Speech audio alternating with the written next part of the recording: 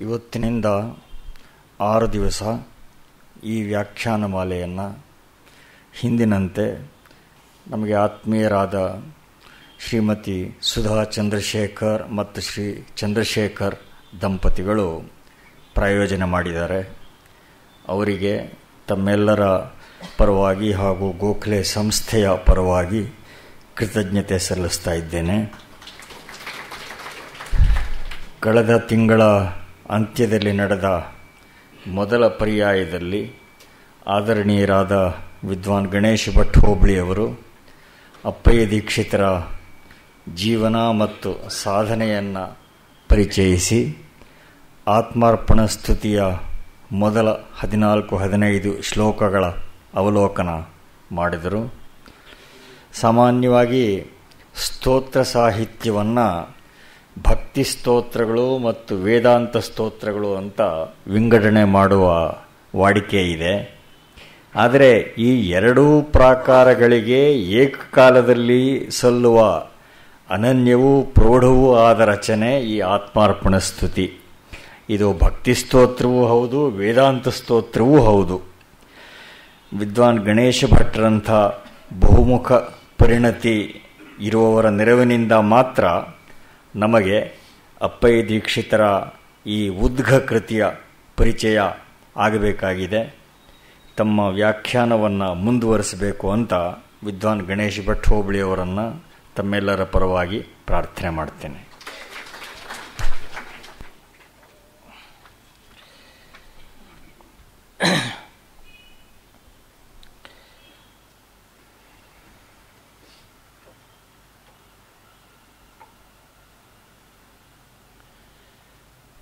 ಯೋऽन्तः प्रविश्य मम वाचमिमां प्रसुप्तां। सञ्जीवयत्यखिलशक्तिधरस्वधाम्ना। अन्याश्च हस्तचरणश्रवणत्वगादीन् प्राणान्नमो भगवते पुरुषाय तुभ्यं या वर्णपदवाक्यार्थगद्यपद्यस्वरूपिणी। वाचि नर्तयतु क्षिप्रं मेधां देवी सरस्वती।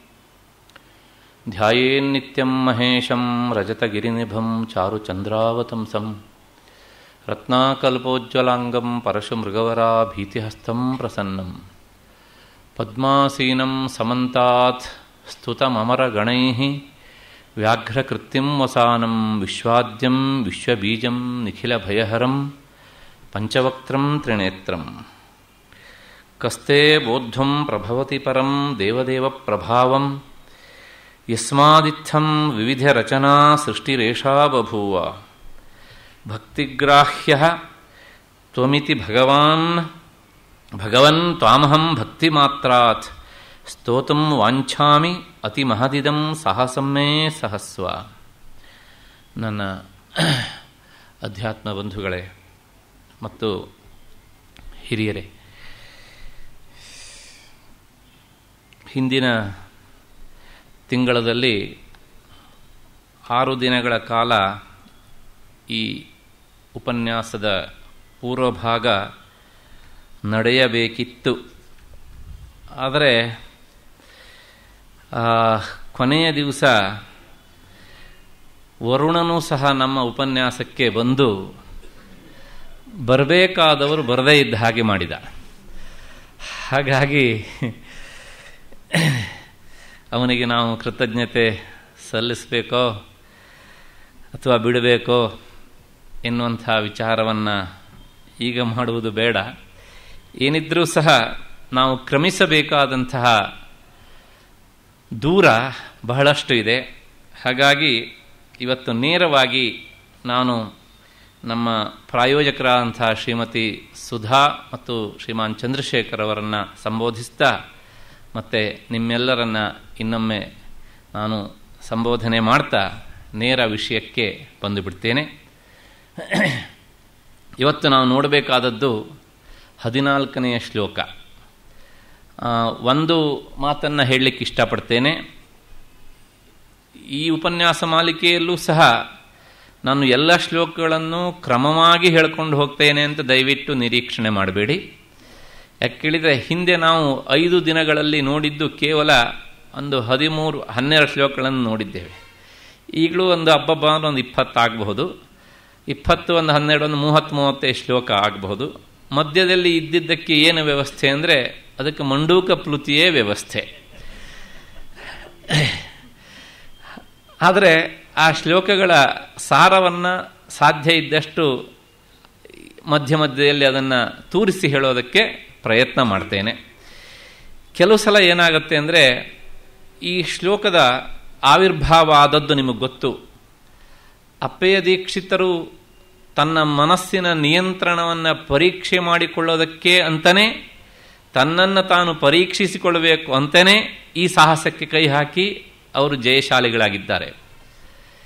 ಈ ಹಿನ್ನೆಲೆಯಲ್ಲಿ ಆ ಭಕ್ತಿ ಪಾರವಶ್ಯತೆಯಲ್ಲಿ ಸಮಾನ ಅರ್ಥದ ಕೆಲವು ಶ್ಲೋಕಗಳು ಬಂದಿವೆ.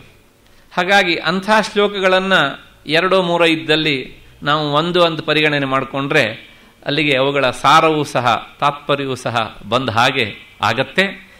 ಇಷ್ಟು ಹಿನ್ನೆಲೆಯಲ್ಲಿ ಅಂದರೆ ಏನು ಹೇಳಿದೆ ಅಂದರೆ ನಾವು ಬಿಟ್ಟರು ಒಂದು ರೀತಿ ಬಿಡ್ತಾ ಇಲ್ಲ ಅಂತ.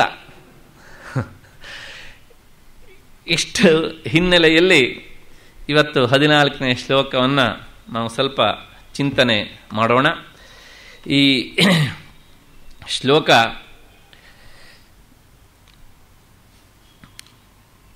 ಒಂದು ರೀತಿಯ ಬಹಳ ಮಾರ್ಮಿಕವಾದಂತಹ ವಿಚಾರವನ್ನು ನಮ್ಮ ಮುಂದೆ ಇಡ್ತದೆ. ಈಗ ತಾನೇ ಹಿರಿಯರಾದ ರಾಮಸ್ವಾಮಿಗಳು ಹೇಳಿದ ಹಾಗೆ ಇದು ಭಕ್ತಿ ಪ್ರಧಾನವಾದಂತಹ ಸ್ತೋತ್ರ ಕಾವ್ಯ ಅನ್ನೋದ್ರ ಬಗ್ಗೆ ಎರಡು ಮಾತಿಲ್ಲ.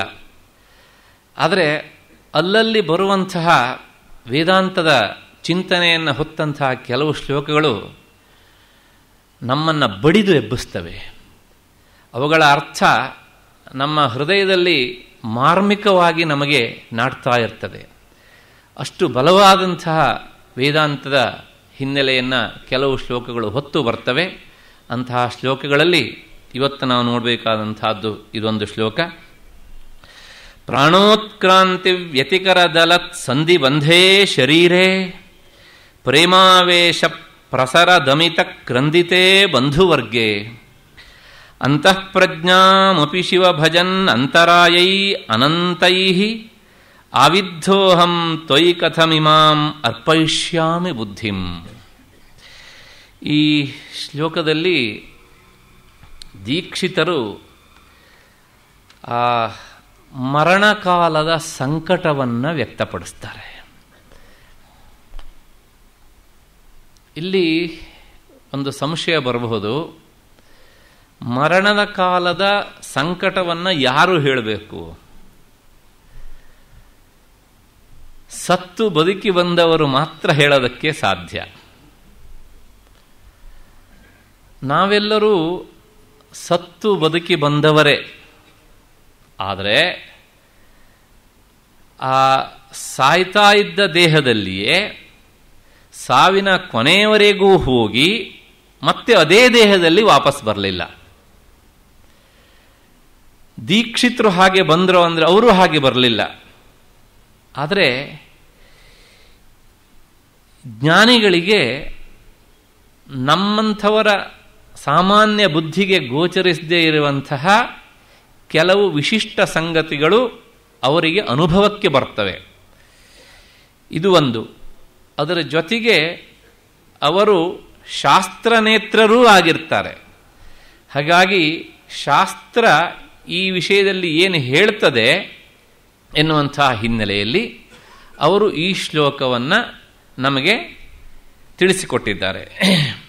ಏನು ಹೇಳ್ತಾರೆ ಅಂದರೆ ಆ ಪ್ರಾಣೋತ್ಕ್ರಮಣದ ಸಂಕಟ ಯಾವ ರೀತಿಯಾಗಿ ಇರ್ತದೆ ಅನ್ನೋದನ್ನು. ಒಂದು ದೃಷ್ಟಿಯಲ್ಲಿ ನೋಡಿದರೆ ನಮಗೆಲ್ಲ ತೀರ ಹತ್ತಿರವಾದಂತಹ ಶ್ಲೋಕ ಇದು. ಯಾಕೆ ಅಂದರೆ ಹುಟ್ಟಿದವರು ಎಲ್ಲರೂ ಒಂದು ದಿವಸ ಸಾಯಲೇಬೇಕು. ಅದರಿಂದ ತಪ್ಪಿಸ್ಕೊಳ್ಳೋದಕ್ಕೆ ಅಂತೂ ಆಗೋದಿಲ್ಲ.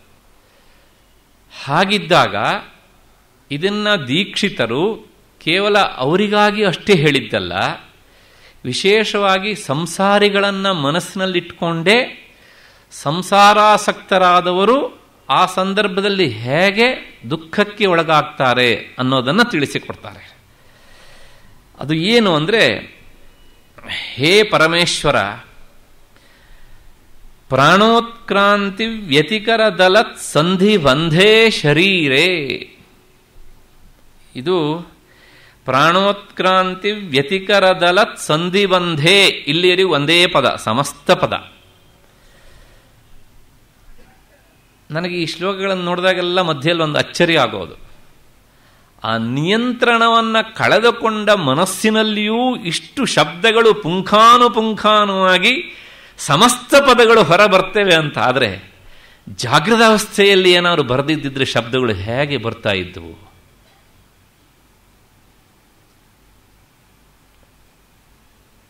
ಉತ್ತರ ಸಿಗೋದು ಬಹಳ ಕಷ್ಟ ಆಗಿಬಿಡುತ್ತೆ. ಆ ಭಾಷೆಯ ಮೇಲಿನ ಹಿಡಿತ ಎಷ್ಟಿತ್ತು ದೀಕ್ಷಿತರಿಗೆ ಅನ್ನೋದನ್ನು ಎಲ್ಲ ಪದಗಳು ನಮಗೆ ತೋರಿಸಿಕೊಡ್ತವೆ. ಏನು ಇದರ ಅರ್ಥ ಅಂದರೆ, ಪ್ರಾಣೋತ್ಕ್ರಾಂತಿ. ಉತ್ಕ್ರಾಂತಿ ಅಂದರೆ ಮೇಲಕ್ಕೆ ಎದ್ದು ಬರುವುದು ಅಂತ ಅರ್ಥ. ಯಾವುದು ಮೇಲಕ್ಕೆ ಎದ್ದು ಬರುವುದು ಅಂದರೆ ಪ್ರಾಣ. ಈ ಪ್ರಾಣ ದೇಹವನ್ನು ಬಿಟ್ಟು ಹೋಗಬೇಕಿದ್ರೆ ಒಂದೊಂದು ಇಂದ್ರಿಯಗಳ ಮೂಲಕ ಅದು ಹೊರ ಹೋಗತ್ತೆ ಎನ್ನುವಂಥದ್ದನ್ನು ಒಬ್ಬೊಬ್ಬರಿಗೆ ಶಾಸ್ತ್ರ ಹೇಳುತ್ತೆ. ಆ ಸಂದರ್ಭದಲ್ಲಿ ಏನಾಗತ್ತಂತೆ ಅಂದರೆ ಸಾಂಸಾರಿಕ ಅಂತಹ ಆಸಕ್ತಿಯಿಂದ ಮನಸ್ಸು ಇಲ್ಲಿಯೇ ಮತ್ತೆ ಮತ್ತೆ ಅಂಟ್ಕೊಂಡಿರುತ್ತೆ. ಅಂಟ್ಕೊಂಡಿರುವಂತಹ ಮನಸ್ಸನ್ನು ಇನ್ನುಳಿದ ಇಂದ್ರಿಯಗಳನ್ನು ಪ್ರಾಣ ಮೇಲಕ್ಕೆ ಎಳಿತಾ ಇದ್ದಾಗ ಎಷ್ಟು ವೇದನೆ ಆಗಬಹುದು ಅಂತ ನಾವು ಊಹಿಸಿಕೊಳ್ಳಬೇಕು. ಹಾಗಾಗಿ ಈ ಪ್ರಾಣೋತ್ಕ್ರಮಣದ ನೋವಿನಿಂದ ನಾನು ಚಡಪಡಿಸ್ತಾ ಇದ್ದಾಗ ನನ್ನ ಈ ಅವಯವಗಳ ಸಂದು ಸಂದುಗಳಲ್ಲೂ ಸಹ, ಜೋಡಣೆ ಜೋಡಣೆಯಲ್ಲಿಯೂ ಸಹ ಏನಾಗ್ತಾ ಇರುತ್ತೆ ಅಂದರೆ ಅವರ್ಣನೀಯವಾದಂಥ ನೋವು ಉಂಟಾಗ್ತಾ ಇರುತ್ತೆ. ಅಷ್ಟೇ ಅಲ್ಲ ಈ ನರನಾಡಿಗಳು ಹರಿದುಕೊಂಡು ಬಂದ ಹಾಗೆ ಒಂದು ರೀತಿಯ ಅನುಭವ ಆಗತ್ತೆ. ಇದು ಒಳಗಡೆಯಿಂದ ನಾನು ನೋವನ್ನು ಅನುಭವಿಸ್ತಾ ಇದ್ದರೆ ಮತ್ತೆ ಹೊರಗಿನಿಂದ ಏನಾಗ್ತಾ ಇರುತ್ತೆ ಅಂದರೆ, ಗಂಡಸಾದರೆ ಸಾಯುವ ವ್ಯಕ್ತಿ, ಅವನ ಹೆಂಡತಿ, ಮಕ್ಕಳು, ಅಕಸ್ಮಾತ್ ಸ್ತ್ರೀ ಆದರೆ ಆಕೆಯ ಪತಿ ಮತ್ತು ಮಕ್ಕಳು, ಮಕ್ಕಳಾದರೆ ತಂದೆ ತಾಯಿ ತಂದೆ ತಾಯಿ ಅದರ ಮಕ್ಕಳು ಮತ್ತೆ ಇನ್ನುಳಿದಂಥ ಬಂಧುವರ್ಗದವರು ಏನು ಮಾಡ್ತಾರೆ ಅಂದರೆ ಅವನ ಅಗಲುವಿಕೆಯನ್ನು ಸಹಿಸಲಿಕ್ಕೆ ಆಗದೆ ಜೋರಾಗಿ ಆಕ್ರಂದನ ಮಾಡಲಿಕ್ಕೆ ಪ್ರಾರಂಭ ಮಾಡ್ತಾರೆ. ಆ ಸಮಯದಲ್ಲಿ ನನಗೆ ಒಳಗಡೆಯಿಂದ ಅನಿಸ್ತಾ ಇರುತ್ತೆ, ನಾನು ನಿನ್ನನ್ನು ಸ್ಮರಣೆ ಮಾಡಬೇಕು ಅಂತ. ಸ್ಮರಿಸುವ ಕೆಲಸ ಯಾವಾಗ ಆಗುತ್ತೆ ಅಂದರೆ ಏಕಾಂತ ಇದ್ದಾಗ ಸಾಧ್ಯ. ಹೊರಗಡೆಯಿಂದ ಯಾವುದೇ ತೊಂದರೆಗಳು ಇರಬಾರದು. ಹೊರಗಡೆಯಿಂದ ತೊಂದರೆ ಇಲ್ಲದೆ ಇದ್ದಾಗಳೂ ಸಹ ಸ್ಮರಣೆ ಮಾಡಲಿಕ್ಕೆ ಬುದ್ಧಿ ಬರುತ್ತೆ ಅಂತಿಲ್ಲ. ಬರುವುದಾದರೆ ಎಲ್ಲ ಅವಕಾಶಗಳು ಇದ್ದರೆ ಬರುವ ಸಾಧ್ಯತೆಗಳಿವೆ. ಹಾಗಾಗಿ ನಿನ್ನನ್ನು ಸ್ಮರಣೆ ಮಾಡಬೇಕು ಅಂತ ನಾನು ಒಳಗಿನಿಂದ ಅಂದ್ಕೊಳ್ತಾ ಇದ್ರೂ ಸಹ ಏನಾಗತ್ತೆ ಅಂದರೆ ಆ ಪ್ರಾಣೋತ್ಕ್ರಮಣದ ಮರಣ ವೇದನೆಯನ್ನು ಸಹಿಸಲಾರದೆ ನನ್ನ ಬುದ್ಧಿ ಒಳಗಿಂದ ಒಳಗೆ ಕುಂಠಿತವಾಗಿ ನಿಂತುಬಿಡುತ್ತೆ. ಅಷ್ಟೇ ಅಲ್ಲ, ಅದಕ್ಕೆ ಹತ್ತಾರು ತರಹದ ವಿಘ್ನಗಳು ನಿನ್ನ ಸ್ಮರಣೆಗೆ. ಒಂದು ಹೊರಗಿನ ವಿಘ್ನ, ಇನ್ನು ಮತ್ತೆ ನನ್ನೊಳಗೆ ಆ ಪ್ರಾಣೋತ್ಕ್ರಮಣದ ವೇದನೆ ಇಷ್ಟು ಸಾಲದು ಅಂತ ಇರಬೇಕಿದ್ರೆ ಮನಸ್ಸು ತನ್ನ ನಿಯಂತ್ರಣವನ್ನು ಕಳ್ಕೊಂಡಿರತ್ತೆ, ಮತ್ತೆ ಬುದ್ಧಿ ಅದು ಸಂಪೂರ್ಣವಾಗಿ ಸ್ಮೃತಿಯನ್ನು ಕಳ್ಕೊಂಡಿರತ್ತೆ. ಹೀಗೆಲ್ಲ ಇದ್ದಾಗ ನಾನು ನಿನ್ನನ್ನು ಸ್ಮರಣೆ ಮಾಡುವುದಾದರೂ ಹೇಗೆ? ಬುದ್ಧಿಯೂ ಸಹ ಸ್ವಲ್ಪ ಸರಿಯಾಗಿ ಇತ್ತು ಅಂತ ಅಂದ್ಕೊಳ್ಳೋಣ. ಹೊರಗನೆಯ ಹೊರಗಡೆಯಿಂದ ಬರುವಂತಹ ತೊಂದರೆಯೂ ಇರಲಿಲ್ಲ ಅಂತ ಅಂದ್ಕೊಳ್ಳೋಣ.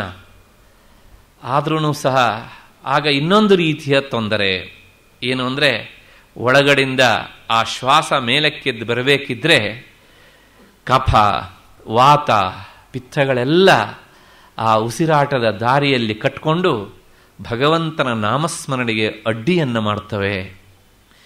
ಹೀಗಿದ್ದಾಗ ಆವಿದ್ಧೋಹಂ ತ್ವಯಿ ಕಥಮಿಪಾಂ ಅರ್ಪಯಿಷ್ಯಾಮಿ ಬುದ್ಧಿಂ. ಈ ಎಲ್ಲ ಇಂದ್ರಿಯಗಳು ಕುಗ್ಗಿ ಹೋಗಿ, ಮನಸ್ಸು ಚಂಚಲವಾಗಿ, ಬುದ್ಧಿ ಸ್ಮರಣೆಹೀನವಾಗಿ ಕಫ ವಾತಗಳಿಂದ ಹೊಡೆಯಲ್ಪಟ್ಟು ಈ ಸ್ಥಿತಿಯಲ್ಲಿದ್ದಾಗ ನಾನು ನನ್ನ ಬುದ್ಧಿಯನ್ನು ನಿನಗೆ ಹೇಗೆ ಅರ್ಪಿಸಲಪ್ಪ ಹಾಗಾಗಿ ಆ ಕೊನೆಯ ಕಾಲದಲ್ಲಿ ನಾನು ನನ್ನ ಬುದ್ಧಿಯನ್ನು ನಿನಗೆ ಅರ್ಪಿಸಲಾರೆ. ಅದಕ್ಕೋಸ್ಕರ ಈ ಇಂದ್ರಿಯಗಳು ಎಲ್ಲ ಚೆನ್ನಾಗಿ ಇರಬೇಕಿದ್ರೇನೆ ನಾನು ನನ್ನ ಬುದ್ಧಿಯನ್ನು ಅಷ್ಟೋ ಇಷ್ಟೋ ಅರ್ಪಿಸಿ ಬಿಡ್ತೇನೆ, ಅರ್ಪಿಸಿ ಬಿಡಬೇಕು ಎನ್ನುವಂತಹ ಭಾವವನ್ನು ದೀಕ್ಷಿತರು ಈ ಶ್ಲೋಕದಲ್ಲಿ ಇಟ್ಟಿದ್ದಾರೆ.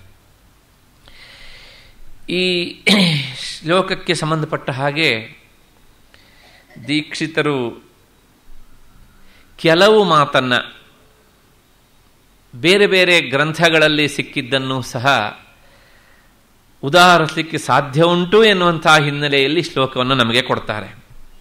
ಏನು ಅಂದರೆ ಆ ಪ್ರಾಣೋತ್ಕ್ರಮಣದ ಸಂದರ್ಭದಲ್ಲಿ ಆಗುವಂತಹ ವ್ಯಥೆಯನ್ನು, ನೋವನ್ನು ಕುರಿತು ಬೇರೆ ಬೇರೆ ಗ್ರಂಥಗಳು ಬಹಳ ಸುಂದರವಾಗಿ ಹೇಳುತ್ತೇವೆ. ಆ ಎಲ್ಲ ಹಿನ್ನೆಲೆಯಲ್ಲಿ ದೀಕ್ಷಿತರು ಈ ಶ್ಲೋಕವನ್ನು ಇಲ್ಲಿ ಹೆಣೆದಿಟ್ಟಿದ್ದಾರೆ ಅಂತ ಕಾಣುತ್ತೆ. ಯಾಕೆಂದರೆ ಒಬ್ಬ ಕವಿಯಾದವನು ಒಂದು ಶ್ಲೋಕವನ್ನು ರಚನೆ ಮಾಡಬೇಕಿದ್ರೆ ಎಷ್ಟೋ ಗ್ರಂಥಗಳ ಚಿಂತನೆಯ ಫಲ ಆ ಶ್ಲೋಕದ ಮೂಲಕ ಬಂದಿರುತ್ತೆ. ಕೇವಲ ಯಾವುದೋ ಒಂದು ಗ್ರಂಥದ ಅಧ್ಯಯನದ ಹಿನ್ನೆಲೆಯಲ್ಲಿ ಬಂದಿರೋದಿಲ್ಲ. ಹಾಗಾಗಿ ದೀಕ್ಷಿತರು ಪ್ರಾಯಶಃ ಈ ಮಾತನ್ನು ಹೇಳಬೇಕಿದ್ರೆ ಕಪಿಲವಾಸುದೇವನ ಮಾತು ಅವರಿಗೆ ನೆನಪಿಗೆ ಬಂದಿರಬೇಕು ಅಂತ ಕಾಣುತ್ತೆ. ತನ್ನ ತಾಯಿಯಾದಂಥ ದೇವಹೂತಿಗೆ ಸಂಸಾರದಲ್ಲಿ ಅತ್ಯಂತ ಆಸಕ್ತರಾದಂತಹ ಜೀವಿ ಮರಣಕಾಲದಲ್ಲಿ ಹೇಗೆ ಕಷ್ಟಪಡ್ತಾನೆ ಅನ್ನೋದನ್ನು ಆತ ಭಾಗವತದಲ್ಲಿ ತಿಳಿಸಿಕೊಡ್ತಾನೆ. ಆ ಹಿನ್ನೆಲೆಯಲ್ಲಿ ದೀಕ್ಷಿತರು ಈ ಶ್ಲೋಕವನ್ನು ನಮ್ಮ ಮುಂದೆ ಇಡ್ತಾರೆ. ಏನು ಅಂದರೆ, ಏನು ಆಗತ್ತೆ ಆವಾಗ ಸಂಕಟ ಅಂದರೆ ವಾಯನೋತ್ಕ್ರಮತೋತ್ತಾರ ಖಪ ಸಮೃದ್ಧ ನಾಡಿಕ ಕಾಸಶ್ವಾಸ ಕೃತಾಯಾಸ ಕಂಠೇ ಘುರುಘುರಾಯತೆ. ಪ್ರಾಯಶಃ ನಾನು ಹೇಳಿದ್ದೆ ಅಂತ ಕಾಣುತ್ತೆ ಆ ಕೊನೆಯ ಸಂದರ್ಭದಲ್ಲಿ. ನೋಡಿ, ಅರ್ಥ ನೋಡಿ. ಶಯಾನ ಪರಿಶೋಚದ್ಭಿ ಪರಿವೀತ ಸ್ವಬಂಧುಭಿ ವಾಚ್ಯಮಾನೋಪಿ ನಬ್ರೂತೆ ಕಾಲಪಾಶವಶಂಗತ. ಆ ಪ್ರಾಣ ಮೇಲಕ್ಕೆ ಹರಿದು ಬರಬೇಕಿದ್ರೆ ಒಳಗಡೆ ದಾರಿಗಳಲ್ಲಿ, ನರನಾಡಿಗಳಲ್ಲಿ, ಈಗ ತಾನೇ ನಾನು ಹೇಳಿದಂಥ ಕಫ, ಪಿತ್ತ, ವಾತಗಳೆಲ್ಲ ಕಟ್ಟಿಕೊಂಡು ಆ ಶ್ವಾಸದ ದಾರಿ ಕಟ್ಟಿ ಹೋಗುತ್ತೆ. ಕಟ್ಟಿ ಹೋದಾಗ ಭಗವಂತನ ಸ್ಮರಣೆ ಮಾಡಬೇಕು ಅಂತ ಪ್ರಯತ್ನಿಸಿದರೂ ಆ ಸ್ಮರಣೆ ನಾಮೋಚ್ಚಾರಣೆ ಸ್ಪಷ್ಟವಾಗಿ ಬರದೆ ಕಂಠೇ ಘುರುಘುರಾಯತೆ.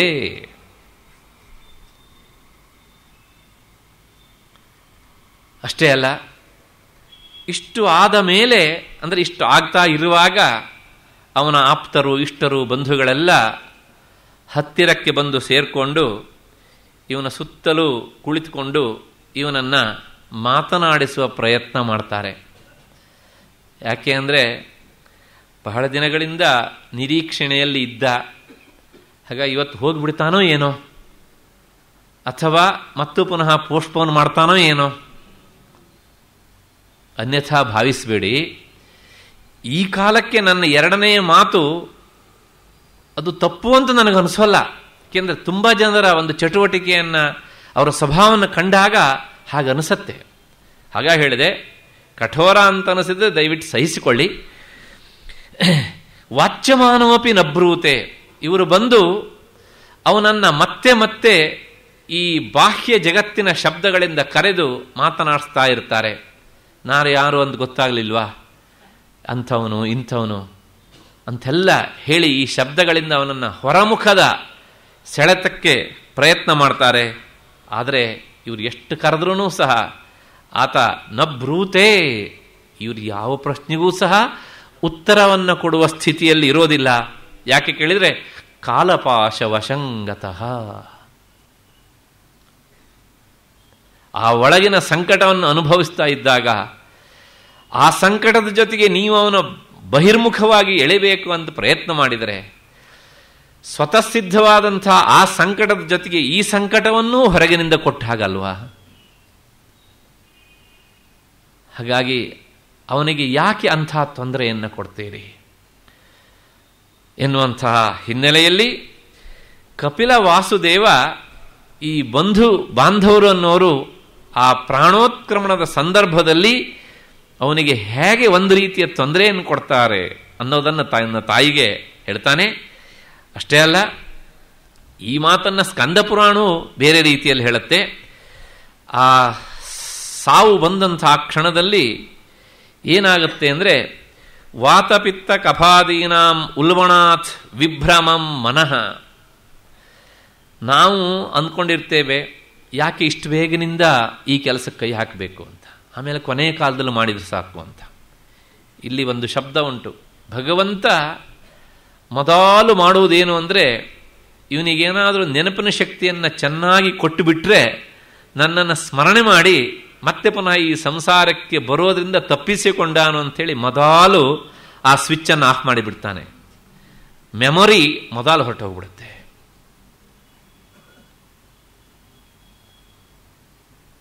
ಮತ್ತೆ ಇಷ್ಟು ಹೇಳಿ ಈ ಶ್ಲೋಕ ಕೇಳುತ್ತೆ, ಮರಣಾವಸರೇ ಮರ್ತ್ಯ ಕಿಂಕುರ್ಯಾತ್ ಅತಿ ತಾಪಿತಃ. ಮೊದಲನೇದಾಗಿ ನೆನಪು ಹೋಯಿತು. ಸಾಲದಕ್ಕಿನ್ನೇನಾಗುತ್ತೆ ಅಂದರೆ, ಕೋಟಿ ವೃಶ್ಚಿಕ ದಷ್ಟಶ್ಚ.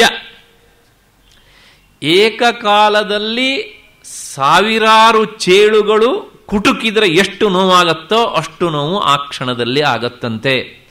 ಈ ಮಾತು ವಾಯುಪುರಾಣದಲ್ಲೂ ಬರುತ್ತೆ. ಗರುಡ ಪುರಾಣದ ಸಾರೋದ್ಧಾರವೂ ಹೇಳುತ್ತೆ.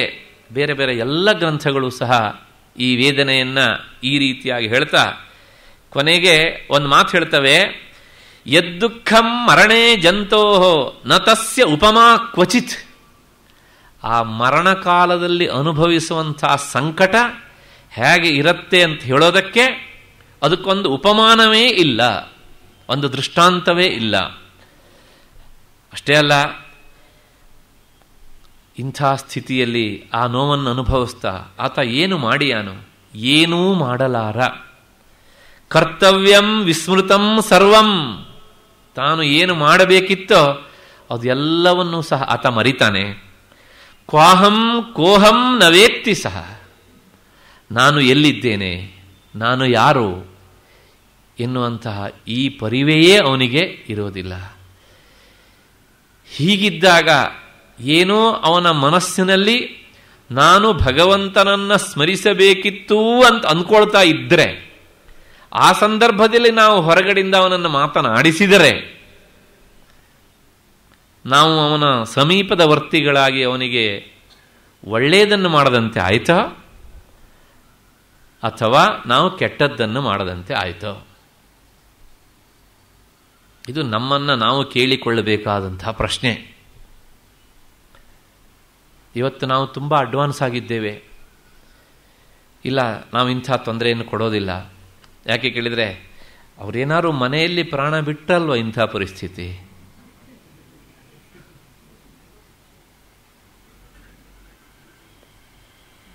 ಯಾಕೆ ಅಂದರೆ, ಸ್ವಲ್ಪ ಪರವಾಗಿಲ್ಲ ಅಂತ ಇರುವ ಸ್ಥಿತಿಯಲ್ಲಾದರೆ ನಾವು ಅವರನ್ನು ಜೀವನ ಸಂಧ್ಯಾ ಅಥವಾ ಇನ್ನೇನೋ ವ್ಯವಸ್ಥೆಗಳೆಲ್ಲ ಬಂದಿವೆಯಲ್ಲ? ಇಂಥವುಗಳಿಗೆ ನಾವು ಅವ್ರನ್ನ ಸೇರಿಸಿ ನಾನು ಮಗನಾಗಿ ದೊಡ್ಡ ಕರ್ತವ್ಯ ಮಾಡಿದ್ದೇನೆ ಅಂತ ನಾವು ಬಹಳ ಸಂತೋಷ ಪಡ್ತೇವೆ.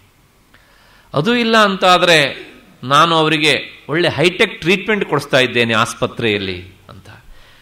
ದಿನಕ್ಕೊಂದ್ಸಲ ಹೋಗಿ ಮಾತನಾಡಿಸಿ ಬಂದು ಸಾಕು, ಮಿಕ್ಕ ಎಲ್ಲವನ್ನು ಸಹ ಅಲ್ಲಿರುವ ಸಿಸ್ಟರ್ಸ್ಗಳು, ಡಾಕ್ಟರ್ಸ್ಗಳು ಮಾಡ್ತಾರೆ. ಆದರೆ ನಾವು ಒಂದನ್ನು ಮರಿಬಾರ್ದು. ಹೀಗೆ ಹೇಳ್ಕೊಳ್ತಾ ಇರುವಂಥ ನಾವು ಮರೆತಿದ್ದೇನಂದರೆ ವೈದ್ಯರು, ಸಿಸ್ಟರ್ಸ್ಗಳು ಎಲ್ಲರೂ ಟ್ರೀಟ್ಮೆಂಟನ್ನು ಕೊಡ್ತಾರೆ. ಆದರೆ ಇವರೆಲ್ಲರೂ ಕೊಡುವಂಥ ಟ್ರೀಟ್ಮೆಂಟ್ ಇದರೊಳಗೆ ಒಂದು ಮಾತ್ರ ಇರೋದಿಲ್ಲ ಏನು ಅಂದರೆ ಪ್ರೀತಿ, ಪ್ರೇಮ, ವಾತ್ಸಲ್ಯ, ಇವು ಯಾವೂ ಸಹ ಇರೋದಿಲ್ಲ. ಕೇವಲ ಕಮರ್ಷಿಯಲ್ ಆದಂಥ ಟ್ರೀಟ್ಮೆಂಟ್ನಿಂದ ಆತ ಏನು ತಾನೇ ಸುಖಪಟ್ಟನು. ಹಾಗಿದ್ರೆ ಮಕ್ಕಳಾದವರು, ಸಮೀಪದಲ್ಲಿರುವಂಥವರು, ಅವರ ಕರ್ತವ್ಯ ಏನು ಅಂದರೆ, ಈ ಅವಸ್ಥೆ ಯಾರಿಗೂ ತಪ್ಪಿದ್ದಲ್ಲ. ಹುಟ್ಟಿದ್ದಾನೆ ಅಂದಮೇಲೆ ಒಂದು ದಿವಸ ಆ ಸ್ಥಿತಿ ಹೋಗಲೇಬೇಕು. ಹಾಗಿದ್ದಾಗ ಒಂದು ಜೀವಿ ಒಂದು ಶರೀರವನ್ನು ಬಿಟ್ಟು ಇನ್ನೊಂದು ಕಡೆಗೆ ಪ್ರಯಾಣ ಮಾಡುತ್ತೆ ಅಂತಾದರೆ, ಅದೊಂದು ಮಹಾಪರ್ವಕಾಲ. ಆ ಪರ್ವಕಾಲದಲ್ಲಿ ಆ ಜೀವಿ ತನ್ನಿಂದ ಏನನ್ನು ಮಾಡ್ಕೊಳ್ಳಿಕ್ಕಾಗೋದಿಲ್ವೋ? ಅಂಥ ಸ್ಥಿತಿಯಲ್ಲಿ ಸಮೀಪದಲ್ಲಿದ್ದವರು ಆ ಜೀವಿಗೆ ಊರುಗೋಲಾಗಿ ನಿಂತು ಭಗವಂತನ ನಾಮಸ್ಮರಣೆ ಬರುವುದಕ್ಕೆ ಸಹಾಯ ಮಾಡಿದರೆ, ಅಕಸ್ಮಾತ್ತಾಗಿ ಅವನು ಬಾಯಿಂದ ಬರದೇ ಇದ್ದರೆ ವನೇಪಕ್ಷ ನಾವಾದರೂ ಗಟ್ಟಿಯಾಗಿ ಹೇಳಿದರೆ, ಅದರ ಸ್ಮರಣೆ ಮತ್ತೆ ಜಾಗೃತವಾದರೆ, ಆಗ ಅವನ ಬಂಧುಗಳು ಹತ್ತಿರದವರು ಅವನಿಗೆ ಮಾಡುವಂಥ ನಿಜವಾದ ಆರೈಕೆ, ನಿಜವಾದ ಉಪಕಾರ ಅದಾಗತ್ತೆ.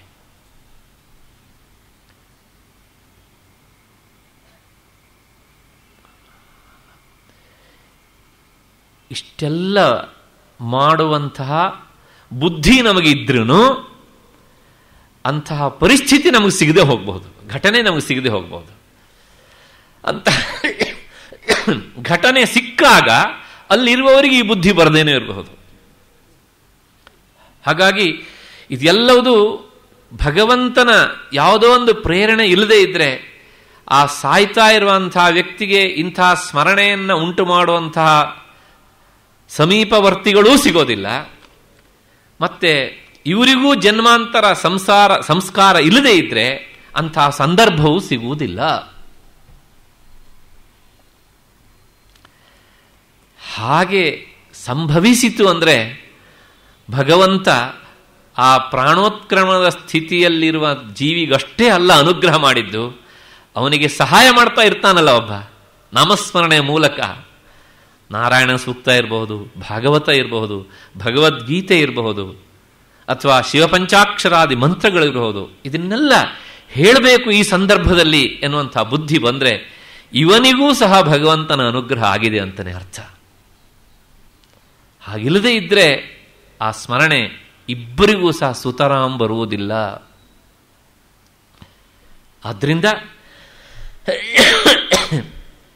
ದೀಕ್ಷಿತರು ಹೇಳ್ತಾರೆ ಇಂತಹ ಸಂದರ್ಭದಲ್ಲಿ ನಾನು ನನ್ನ ಬುದ್ಧಿಯನ್ನು ನಿನಗೆ ಹೇಗೆ ತಾನೇ ಸಮರ್ಪಣೆ ಮಾಡಲಿ? ಅಂದರೆ ಬುದ್ಧಿಯನ್ನು ಸಮರ್ಪಣೆ ಮಾಡೋದು ಅಂದರೆ ನನ್ನ ಬುದ್ಧಿಯನ್ನು ನಿನ್ನಲ್ಲಿ ನೆಲೆ ನಿಲ್ಲುವಂತೆ ನಾನು ಹೇಗೆ ಮಾಡಲಿ ಅಂತ ಅವರು ಪ್ರಶ್ನೆ ಕೇಳ್ತಾರೆ. ಅಂದರೆ ಇದು ಬಹಳ ಕಷ್ಟ ಸಾಧ್ಯ ಎನ್ನುವಂಥ ಹಿನ್ನೆಲೆಯಲ್ಲಿ ಈ ಮಾತನ್ನು ಅವರು ಹೇಳ್ತಾರೆ. ಈ ಶ್ಲೋಕದಲ್ಲಿ ಇದರ ಜೊತೆಗೆ ಇದೇ ಅರ್ಥವನ್ನು ಕೊಡುವಂಥ ಇನ್ನೊಂದು ಶ್ಲೋಕ. ಇನ್ನು ಮೂರು ವಿಶಿಷ್ಟವಾದಂಥ ವಿಚಾರವನ್ನು ಮೂವತ್ತ ಒಂಬತ್ತನೆಯ ಶ್ಲೋಕ ಹೇಳುತ್ತೆ. ಇದಕ್ಕೆ ಪ್ಯಾರಲಲ್ ಆಗಿ ಬರುತ್ತೆ ಆ ಶ್ಲೋಕ. ಹಾಗಾಗಿ ಅದನ್ನೂ ಸಹ ಈ ಸ, ಇದೇ ಸಂದರ್ಭದಲ್ಲಿ ನಾನು ಅದರ ವಿವರಣೆಯನ್ನು ನಿಮ್ಮ ಮುಂದೆ ಇಟ್ಟು ಬಿಡ್ತೇನೆ. अन्तर्बाष्पाकुलितनयनान् अन्तरङ्गानपश्यन् अग्रे घोषं रुदितबहुलं कातराणामशृण्वन् अप्युत्क्रान्तिः शममगणयन् अन्तकाले कपर्दिन्। अङ्घ्रिद्वन्द्वे तव निमिषताम्। ತವ ನಿಮಿಷತಾಂ ಅಂತರಾತ್ಮನ್ ಮಮಾತ್ಮ ಹೃದ್ವಂದ್ವೇ ತವ ನಿಮಿಷತಾಂ ಅಂತರಾತ್ಮನ್ ಮಮಾತ್ಮ.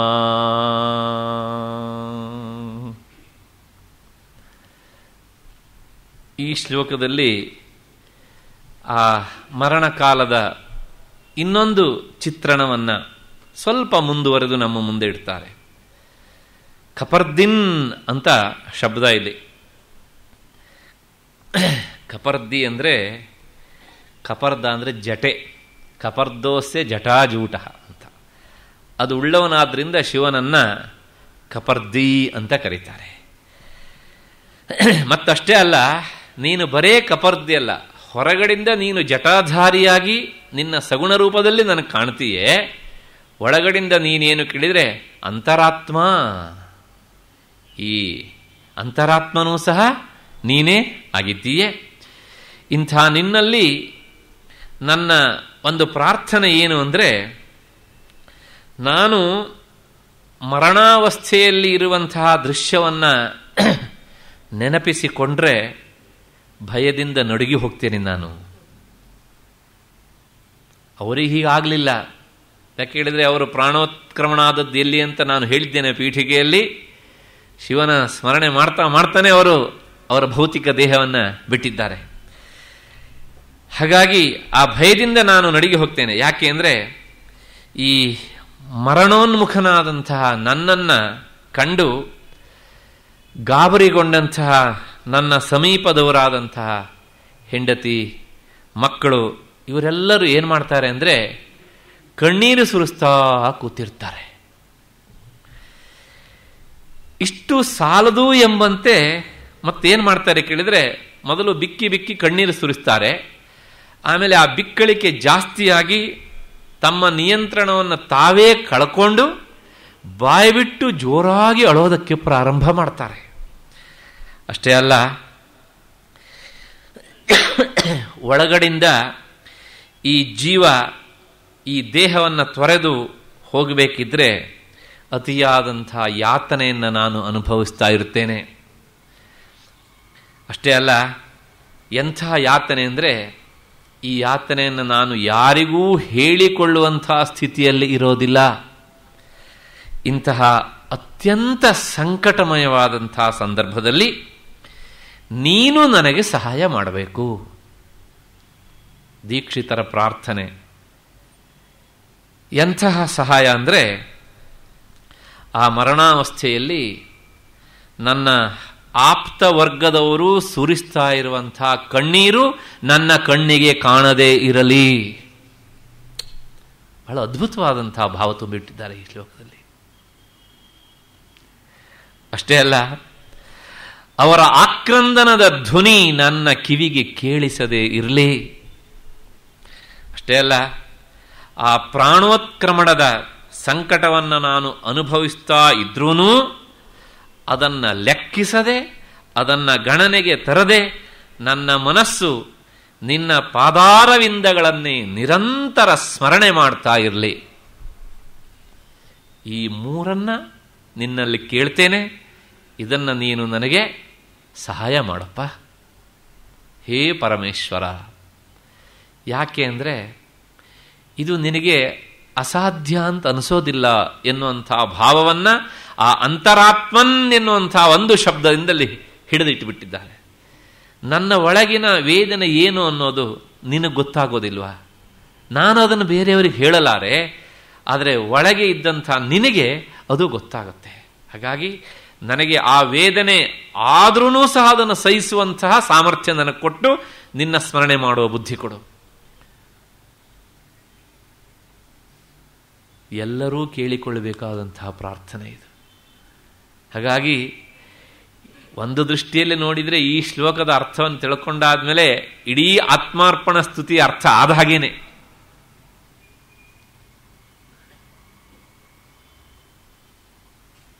ಯಾಕೆ ಅಂದರೆ ಆ ಕೊನೆಯ ಕಾಲದಲ್ಲಿ ನಮಗೆ ಬೇಕಾದದ್ದು ಅದೇ ಅಲ್ವಾ?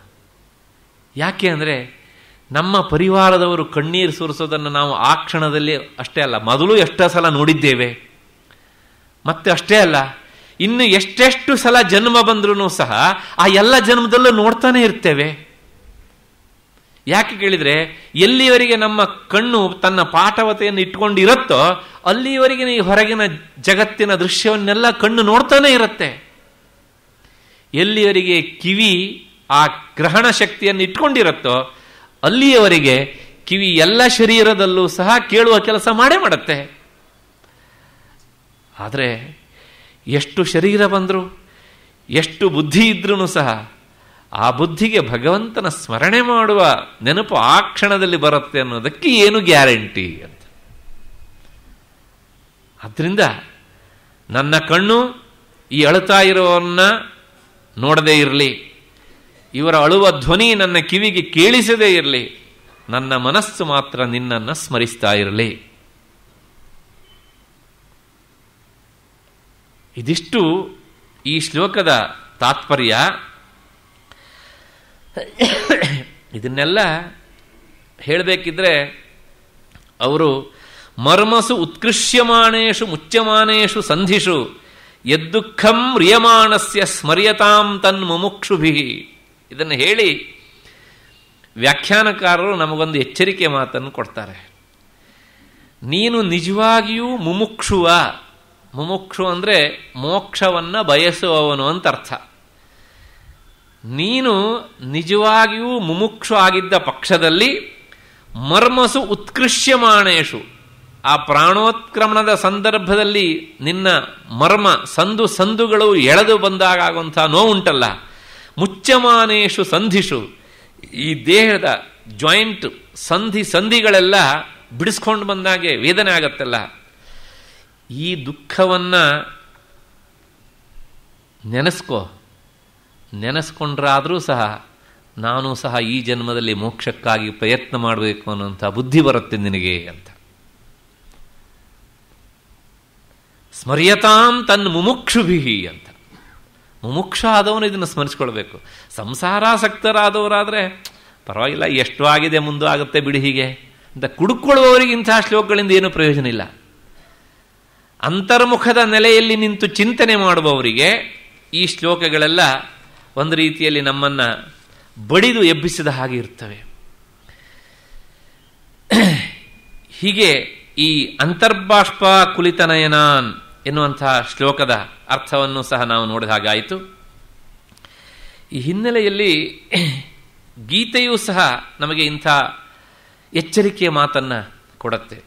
ಪ್ರಾಯಶಃ ನಾನು ಉಲ್ಲೇಖ ಮಾಡಿದ್ದೆ ಅಂತ ನೆನಪು, ಆದರೂ ಸಹ ಸ್ವಲ್ಪ ಬೇರೆ ಆಯಾಮಗಳಲ್ಲಿ, ಬೇರೆ ಮುಖದಲ್ಲಿ ಅದನ್ನು ನಾವು ಚಿಂತನೆ ಮಾಡಬೇಕು. ಏನು ಹೇಳುತ್ತೆ ಅಂದರೆ,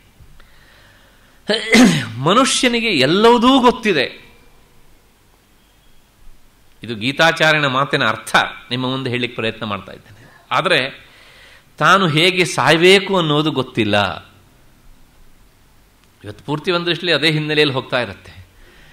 ಯಾಕೆ ಅಂದರೆ ಮನುಷ್ಯ ಈ ಪ್ರಪಂಚದಲ್ಲಿ ಹುಟ್ಟಿ ಆದಮೇಲೆ ಸಾಮಾನ್ಯ ಪಶು ಪಕ್ಷಿಗಳಂತೆ ಆತ ಸಾಯ್ತಾನೆ ಅಂತಾದರೆ ಅದಕ್ಕೆ ಮನುಷ್ಯನ ದೇಹವೇ ಬೇಕಾ? ಈ ಪ್ರಶ್ನೆ ನೇರ ನಮ್ಮ ಗೀತೆಯಲ್ಲಿ ಸಿಗೋಲ್ಲ. ಸ್ವಲ್ಪ ದೂರಕ್ಕೆ ವಿಚಾರ ಮಾಡ್ತಾ ಮಾಡ್ತಾ ಹೋದ ಹಾಗೆ ಕೃಷ್ಣನ ಮಾತಿನ ಒಳಪದರುಗಳೆಲ್ಲ ನಮಗೆ ಸಿಗ್ತಾ ಹೋಗ್ತವೆ. ಅಷ್ಟೇ ಅಲ್ಲ, ಇವುಗಳಂತೆ ಸಾಯಬೇಕು ಅಂತಾದರೆ ನಿನಗೆ ಮನುಷ್ಯ ಶರೀರದ ಅವಶ್ಯಕತೆ ಇಲ್ಲ. ಇನ್ನು ಮನುಷ್ಯನಾಗಿಯೇ ಸಾಯಬೇಕು ಅಂತಾದರೆ ನೀನು ಕೆಲವು ವಿಚಾರ ಮಾಡಬೇಕು. ಏನು ಅಂದರೆ ನಿಜಕ್ಕೂ ಸಹ ಮನುಷ್ಯನಿಗೆ ಒಂದು ದೃಷ್ಟಿಯಲ್ಲಿ ಬದುಕನ್ನು ಹೇಗೆ ಸಾಗಿಸಬೇಕು ಅಂತ ಕಲಿಯುವ ಅವಶ್ಯಕತೆ ಇಲ್ಲ. ಯಾಕೆಂದರೆ ಅವನು ಕಟ್ಕೊಂಡು ಬಂದಂಥ ಪ್ರಾರಬ್ಧ ಕರ್ಮವೇ ಅವನ ಬದುಕಿಗೆ ಒಂದು ವ್ಯವಸ್ಥೆ ಮಾಡುತ್ತೆ. ಯಾಕೆ ಈ ಮಾತನ್ನು ಹೇಳಬೇಕಾಯ್ತು ಅಂದರೆ ನೀನು ತಾಯಿಯ ಹೊಟ್ಟೆಯಲ್ಲಿದ್ದಾಗ ನಿನ್ನ ಬೇಕು ಬೇಡಗಳನ್ನೆಲ್ಲ ನಿನ್ನ ತಾಯಿ ನೋಡ್ಕೊಂಡ್ಲಲ್ವಾ ಆಗ ನಿನ್ನ ಬುದ್ಧಿ ಏನು ಕೆಲಸ ಮಾಡಿತ್ತು ಅಲ್ಲಿ? ಹೋಗಲಿ, ತಾಯಿಯ ಗರ್ಭದಿಂದ ಈಚೆ ಬಂದೆ. ಆ ಶೈಶವಾವಸ್ಥೆಯಲ್ಲಿ ನಿನ್ನ ಸ್ವತಃ ಪ್ರಜ್ಞೆಯಿಂದ ನಿನ್ನ ನೀನು ಎಷ್ಟು ರಕ್ಷಣೆ ಮಾಡಿಕೊಂಡೆ? ಮಾಡ್ಕೊಳ್ಳಿಕ್ಕಾಗಲಿಲ್ಲ ಆದರೂ ಸಹ ಇವತ್ತಿಷ್ಟು ಬೆಳೆದು ನಿಂತಿಯಲ್ಲ ನೀನು? ಯಾವುದರಿಂದ ಆಯಿತು ಇದು? ನಿನ್ನ ಪ್ರಾರಬ್ಧ ಕರ್ಮ ಯಾರ್ಯಾರಿದ್ದೋ ಮೂಲಕ ನಿನಗೆ ಅನುಕೂಲವೋ ಅನಾನುಕೂಲವೋ ಆಗುವ ಹಾಗೆ ನಿನ್ನನ್ನು ರಕ್ಷಣೆ ಮಾಡುತ್ತೆ ಅಂತ ಆದರೆ ಅದ್ರ ಬಗ್ಗೆ ಬಂದು ನೀ ಯಾಕೆ ಯೋಚನೆ ಮಾಡ್ತೀಯ ಅಷ್ಟೇ ಅಲ್ಲ, ಹಾಗಿದ್ರೆ ನೀನು ಮಾಡಬೇಕಾದದ್ದೇನು, ನಾವು ಕಲಿಬೇಕಾದದ್ದೇನು ಅಂದರೆ, ನಾವು ಹೇಗೆ ಸಾಯಬೇಕು ಅನ್ನೋದನ್ನು ಅಭ್ಯಾಸ ಮಾಡಬೇಕು ಅಂತ.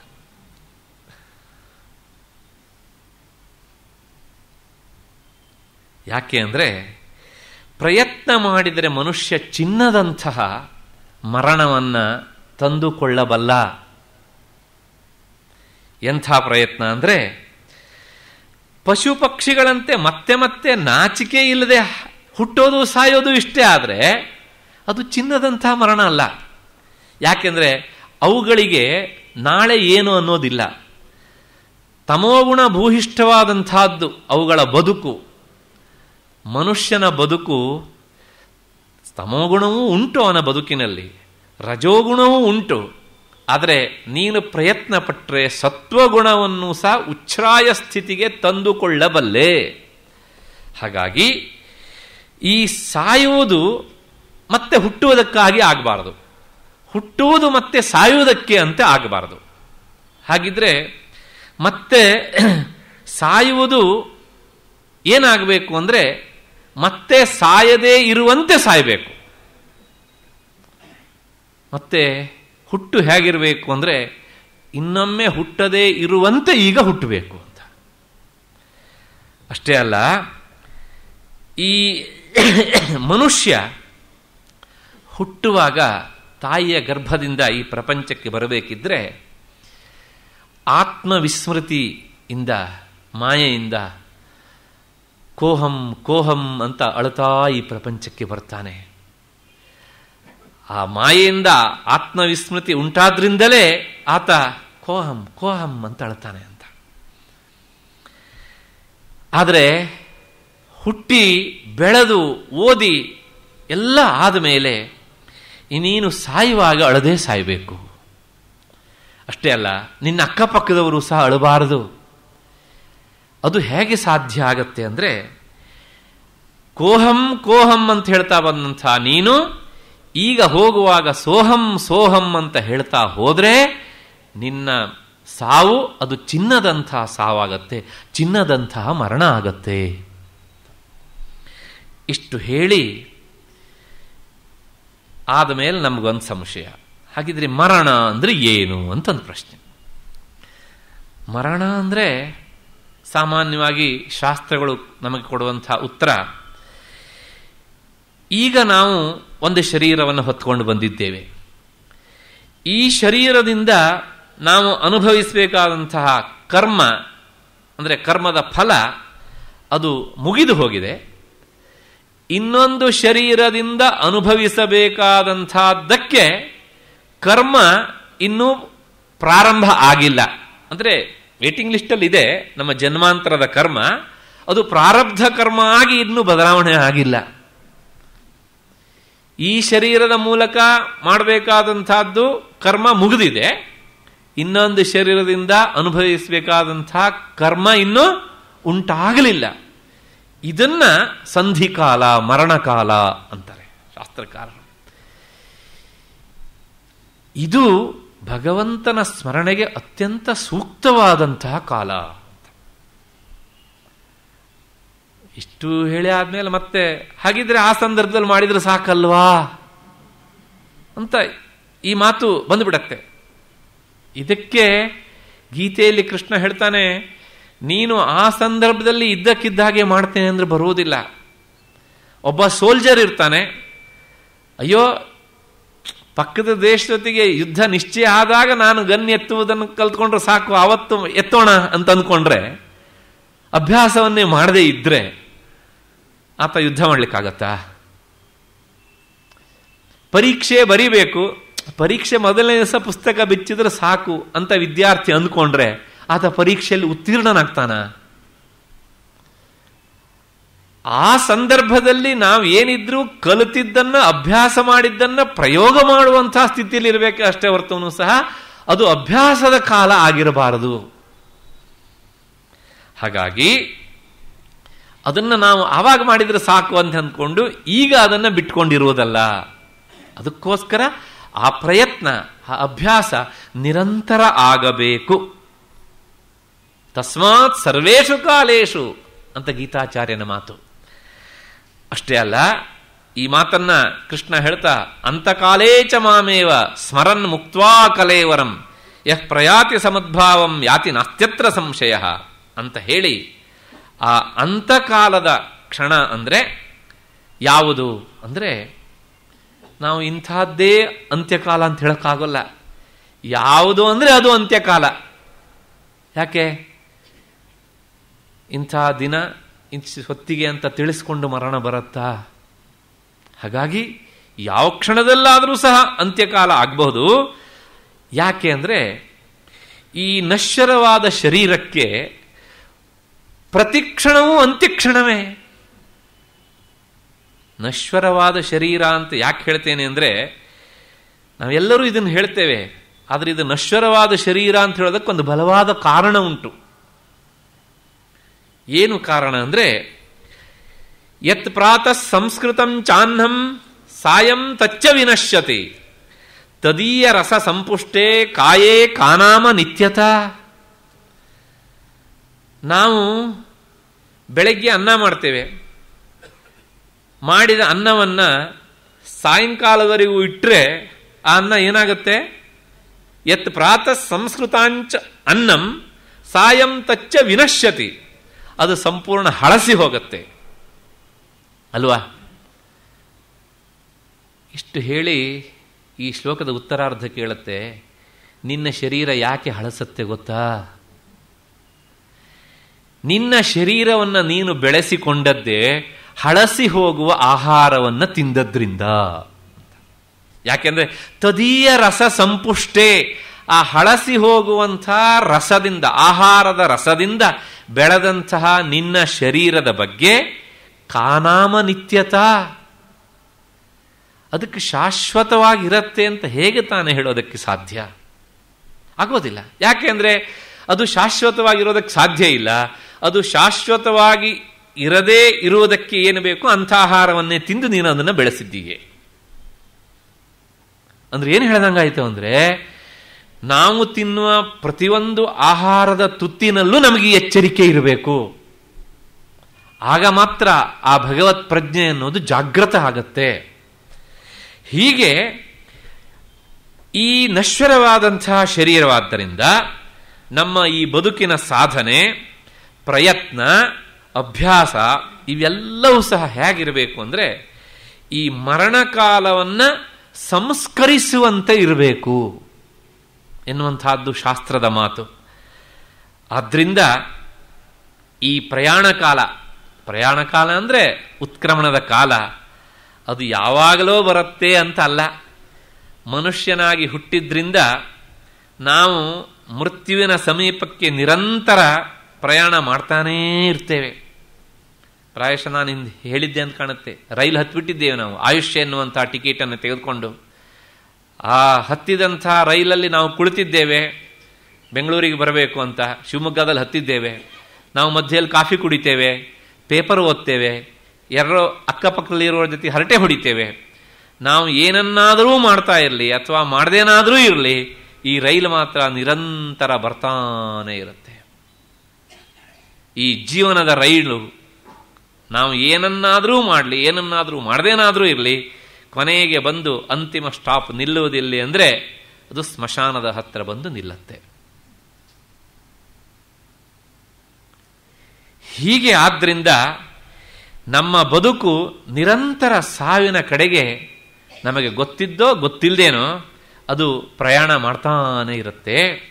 ಅದರಿಂದ ಈ ಅಂತ್ಯಕಾಲದಲ್ಲಿ ನಿನ್ನ, ನೀನು ಭಗವಂತನ ಸ್ಮರಿಸಬೇಕು ಅಂತ ಆದರೆ ನಿರಂತರ ಅಭ್ಯಾಸ ಬೇಕು. ಯಾಕೆ ಅಂದರೆ ಮನಸ್ಸಿನ ಸ್ವಭಾವ ಅದು ಏನನ್ನಾದರೂ ಸ್ಮರಿಸ್ತಾನೇ ಇರುತ್ತೆ.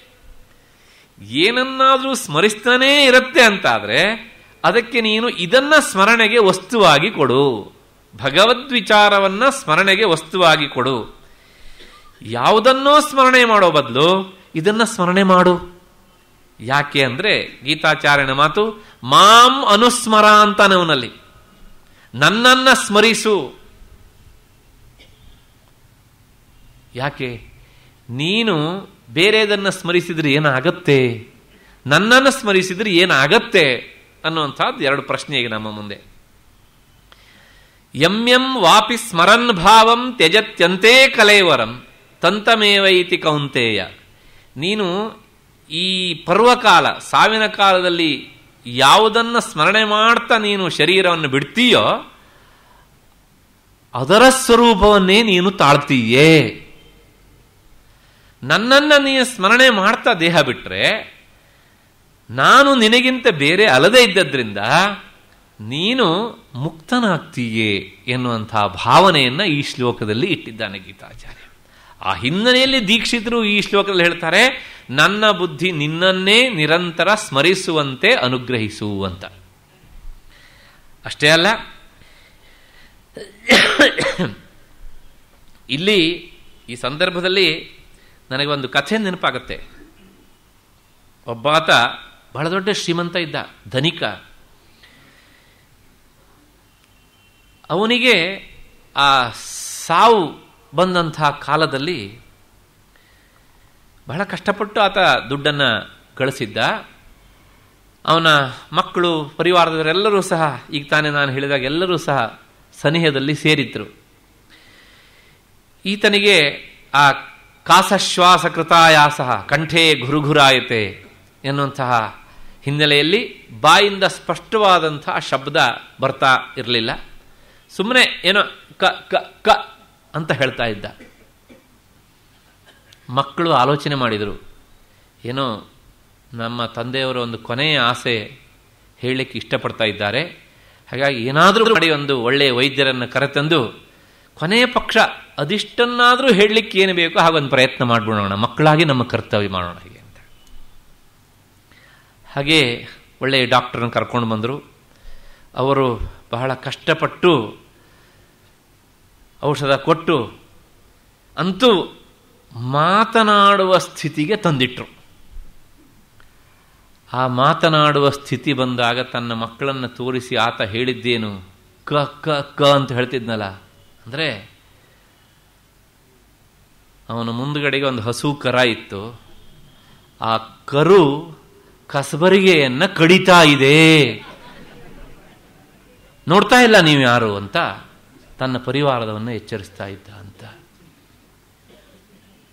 ಇದನ್ನು ಒಬ್ಬ ಹಿರಿಯರು ಹೇಳಿದ್ರು, ಯಾಕೆ ಈ ಕಥೆಯನ್ನು ಉಲ್ಲೇಖ ಮಾಡುವಂತಹ ಪರಿಸ್ಥಿತಿ ಬರುತ್ತೆ ಅಂದರೆ, ಇಷ್ಟು ಸುದೀರ್ಘವಾದಂತಹ ಕಾಲದಲ್ಲಿ ಇಷ್ಟೆಲ್ಲ ಮಾಡಿ ಆದ್ಮೇಲೂ ಸಹ ಆ ಸಾವಿನ ಪರ್ವಕಾಲದಲ್ಲಿ ಇಷ್ಟು ಸಣ್ಣ ವಿಷಯದ ಬಗ್ಗೆ ಆಲೋಚನೆ ಮಾಡುವಂತಹ ಬುದ್ಧಿ ಯಾಕೆ ಬಂತು?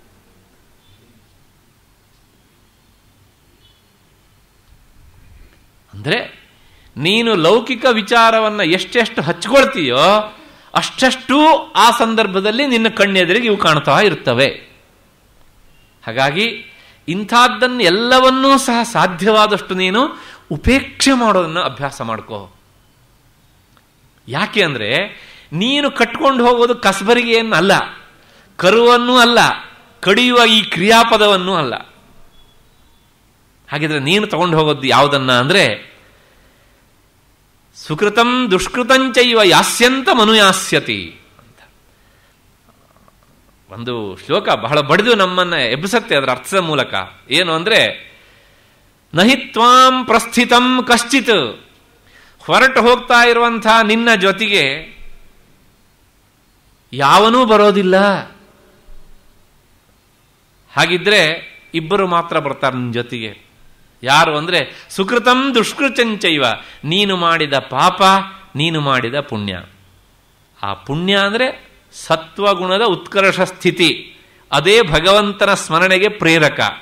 ಪಾಪ ಅಂದರೆ ಸತ್ವಗುಣದ ಅನುಚ್ಛ್ರಾಯ ಸ್ಥಿತಿ. ಅಂದರೆ ತಮೋಗುಣಗಳ ಅತ್ಯಂತ ಎಚ್ಚರದ ಸ್ಥಿತಿ. ಅದು ಭಗವಂತನ ಸ್ಮರಣೆಗೆ ಅಡ್ಡಿ. ಯಾಸ್ಯಂತ ಮನು ಅದರಿಂದ ಈ ಬದುಕು ಒಂದು ಸಮಗ್ರ ಜೀವನವೂ ಸಹ ಒಂದು ಅಭ್ಯಾಸದ ರಂಗ ಆಗಬೇಕು ಎನ್ನುವಂತಹ ಹಿನ್ನೆಲೆಯಲ್ಲಿ ಈ ಕಥೆ ನಮಗೆ ಮಾರ್ಗದರ್ಶನ ಮಾಡುತ್ತೆ. ಹಾಗಾಗಿ ನಾವು ಯಾವುದನ್ನು ಹಚ್ಚಿಕೊಳ್ಳಬೇಕು ಎನ್ನುವಂತಹ ಹಿನ್ನೆಲೆಯಲ್ಲಿ. ಅದರಿಂದ ಕೃಷ್ಣನ ಮಾತು, ನನ್ನನ್ನು ನೀನು ಸ್ಮರಿಸುವುದನ್ನು ಅಭ್ಯಾಸ ಮಾಡು. ಯಾಕೆ ಅಂದರೆ ನನಗಿಂತ ನಿನ್ನ ಸ್ವರೂಪ ಎನ್ನುವಂತಹದ್ದು ಬೇರೆ ಆದದ್ದು ಅಲ್ಲ. ಹಾಗಾಗಿ ಅಲ್ಲೊಂದು ಶಬ್ದ ಇಟ್ಟಿದ್ದಾನೆ ಆತ, ಪ್ರಯಾತಿ ಅಂತ. ಅದರ ವಿಶೇಷತೆಯನ್ನು ಮತ್ತೆ ನಾವು ನೋಡಬೇಕು. ಈ ಮಹಾಪ್ರಯಾಣ, ಅಂದರೆ ಸಾವಿನ ಕಾಲ, ಅದು ಸ್ಮರ, ಪರಮಾತ್ಮನ ಸ್ಮರಣೆ ನಮಗೆ ಬರಬೇಕು ಅಂತಾದ್ರೆ ಆ ಸಂದರ್ಭದಲ್ಲಿ ಎರಡು ಪ್ರತಿಬಂಧಕಗಳು ಇರಬಾರದು ಅಂತಾರೆ ಶಾಸ್ತ್ರಕಾರರು. ಏನು ಎರಡು ಪ್ರತಿಬಂಧಕಗಳು ಇರಬಾರದು ಅಂದರೆ ಅದೇ, ಆ ಒಳಗಿನಿಂದ ಪ್ರಾಪಂಚಿಕವಾದಂತಹ ವಸ್ತುವಿನ ನೆನಪು ನಮಗೆ ಬರಬಾರದು. ಒಂದು. ಅಂದರೆ ಅದರ ಜೊತೆಗೆ ಒಳಗಿನಿಂದ ನಾನೀಗ ಸ್ಮರಣೆ ಮಾಡಬೇಕು ಅನ್ನುವಂತಹ ಬುದ್ಧಿ ಬರಬೇಕು. ಎರಡನೇದೇನು ಅಂದರೆ, ಹೊರಗಿನಿಂದ ಪರಿವಾರದವರ ಬೊಬ್ಬಾಟ ಇರಬಾರದು. ಪರಿವಾರದವರು ಇದ್ರೆ ನಮಗೆ ಸ್ಮೃತಿ ವಿಸ್ಮೃತಿಯಾದದ್ದನ್ನು ನೆನಪಿಸಿ ಕೊಡುವಂಥವ್ರು ಇರಬೇಕು. ಈ ಎಲ್ಲ ಮಾತನ್ನ ಹೇಳ್ತಾ ಗೀತಾಚಾರ್ಯ ಮುಂದುವರಿತಾನೆ. ಆದರೆ ಏನಾಗುತ್ತೆ ಅಂದರೆ ನಮ್ಮಲ್ಲಿ ಸಾಮಾನ್ಯವಾಗಿ ತುಂಬ ಸಮರ್ಪಕವಾದಂತಹ ಸಾವನ್ನ ಕಂಡ್ರೂ ಸಹ ಏನೋ ಅಳಬೇಕು ಅನ್ನೋಂಥ ಒಂದು ಕ್ರಮ ಮಾಡ್ಕೊಂಡಿದ್ದಾರೆ. ಯಾಕೋ ಗೊತ್ತಿಲ್ಲ. ವೇದಾಂತ ಹುಟ್ಟಿದಂತಹ ನಮ್ಮ ದೇಶದಲ್ಲಿ ಸಾವಿಗಾಗಿ ಅಳಬೇಕಾ ಅನ್ನೋದೊಂದು ಪ್ರಶ್ನೆ ನಮ್ಮನ್ನು ಕಾಡತ್ತೆ. ಅಸಮರ್ಪಕ ಸಾವಾಗಿ ಬಿಟ್ಟರೆ ಪ್ರಶ್ನೆ ಬೇರೆ. ಆದರೆ ಕೆಲವು ಸಲ ಏನಾಗುತ್ತೆ ಕೇಳಿದರೆ ಅದು ಶೋಚನೀಯ ಮರಣ ಆದರೆ ಪ್ರಶ್ನೆ ಬೇರೆ. ಯೋಚನೀಯ ಮರಣ. ಇಷ್ಟು ದಿನಗಳ ಕಾಲ ಹೇಗೆ ಬದುಕಿದ್ರು ಅವರು? ಹೀಗೆ ಯೋಚಿಸುವಂತಹ ಮರಣದಲ್ಲಿ ನಾವು ದುಃಖಕ್ಕೆ ಒಳಗಾಗಬಾರ್ದು ಅಲ್ವಾ? ಹಾಗಾಗಿ ಯಾಕೆ ಅಳಬೇಕು? ಅತ್ತಿದ್ರಿಂದ ಏನು ಪ್ರಯೋಜನ? ಹೊರಗಿನಿಂದ ಅಳುವವರು ಯಾರೂ ಸಹ ವಾಸ್ತವಿಕವಾಗಿ ಅವನು ಸಾಯ್ತಾ ಇದ್ದಾನೆ, ಅವನಿಗೋಸ್ಕರ ಅಳೋದಿಲ್ಲ ಒಬ್ಬಾತ ಹೀಗೆ ಸಾಯ್ತಾ ಇದ್ದಾಗ ಅವನ ಪರಿವಾರದವರು ಅಳ್ತಾ ಇದ್ದರಂತೆ. ಆಗ, ನೀನು ನಮ್ಮನ್ನು ಬಿಟ್ಟು ಹೋಗ್ತೀಯಾ? ನಮಗಿನ್ಯಾರು ಗತಿ ಮುಂದೆ? ಅಂತ ಹೊರಗಡೆಯಿಂದ ಇವರು ಕೇಳಿದಾಗ, ಅವನಿಗಿನ್ನೂ ಸ್ವಲ್ಪ ಆ ಬೌದ್ಧಿಕ ಶಕ್ತಿ ಜಾಗೃತವಾಗಿತ್ತು. ಅವನು ಕೇಳಿದ್ನಂತೆ ನಿಮಗೋಸ್ಕರ ಇಷ್ಟೆಲ್ಲ ಆಸ್ತಿ, ಪಾಸ್ತಿ ಎಲ್ಲ ಮಾಡಿದ್ದೇನೆ. ನಿಮಗೋಸ್ಕರ ಬಿಟ್ಟು ಹೋಗ್ತಾ ಇದ್ದೇನೆ. ನಾನು ಯಾವುದನ್ನೂ ತೆಗೆದುಕೊಂಡು ಹೋಗ್ತಾ ಇಲ್ಲ. ನಾನು ಹೋಗ್ತಾ ಇದ್ದೇನೆ. ನನ್ನ ಜೊತೆ ಯಾರು ಬರ್ತೀರಿ ಹೇಳಿ ಈಗ?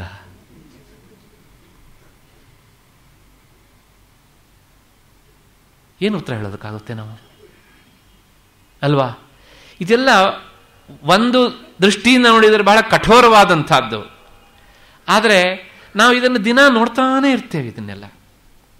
ಹಾಗಾಗಿ ವೇದಾಂತ ಹುಟ್ಟಿದಂತಹ ಈ ದೇಶದಲ್ಲಿ ಹಿರಿಯರಾಗಿ ಬದುಕಿನ ಕರ್ತವ್ಯಗಳನ್ನೆಲ್ಲ ಪೂರೈಸಿ ಸಮರ್ಪಕವಾದಂತಹ ಸಾವು ಬಂದಾಗ ಅವರ ಸಾವು ಮತ್ತೆ ಪುನಃ ಸಾಯದೇ ಇರುವಂತಹ ಸಾವಾಗಲಿ ಅಂತ ಹಾರೈಸಿ ನಾವು ನಮ್ಮ ಕರ್ತವ್ಯ ಏನು ಅಂತ ಮಾಡಬೇಕು ಎನ್ನುವಂತಹ ಹಿನ್ನೆಲೆಯಲ್ಲಿ ಗೀತಾಚಾರ್ಯನ ಮಾತು ಏನು ಅಂದರೆ ಸಾವಿನ ಸಂದರ್ಭದಲ್ಲಿ ನಾವು ಬಿಡಬೇಕಾದಂತಹದ್ದು ಈ ಶರೀರ, ಅಲ್ವಾ? ಹಾಗಿದ್ರೆ ಗ್ರಹಿಸಬೇಕಾದದ್ದು ಏನನ್ನ? ಗ್ರಹಿಸಬೇಕಾದದ್ದು ಪರಮಾತ್ಮನ ಸ್ವರೂಪವನ್ನ. ಬಿಡಬೇಕಾದದ್ದು ಶರೀರ, ಚಿಂತಿಸಬೇಕಾದದ್ದು, ಗ್ರಹಿಸಬೇಕಾದದ್ದು ಪರಮಾತ್ಮನ ಸ್ವರೂಪ. ಇಷ್ಟು ಹೇಳಿ ಆದಮೇಲೆ ನಾವು ಯಾವ ಯಾವುದನ್ನು ಬಿಡ್ತೇವೋ ಅದು ನಮ್ಮ ಸ್ವರೂಪ ಅಲ್ಲ.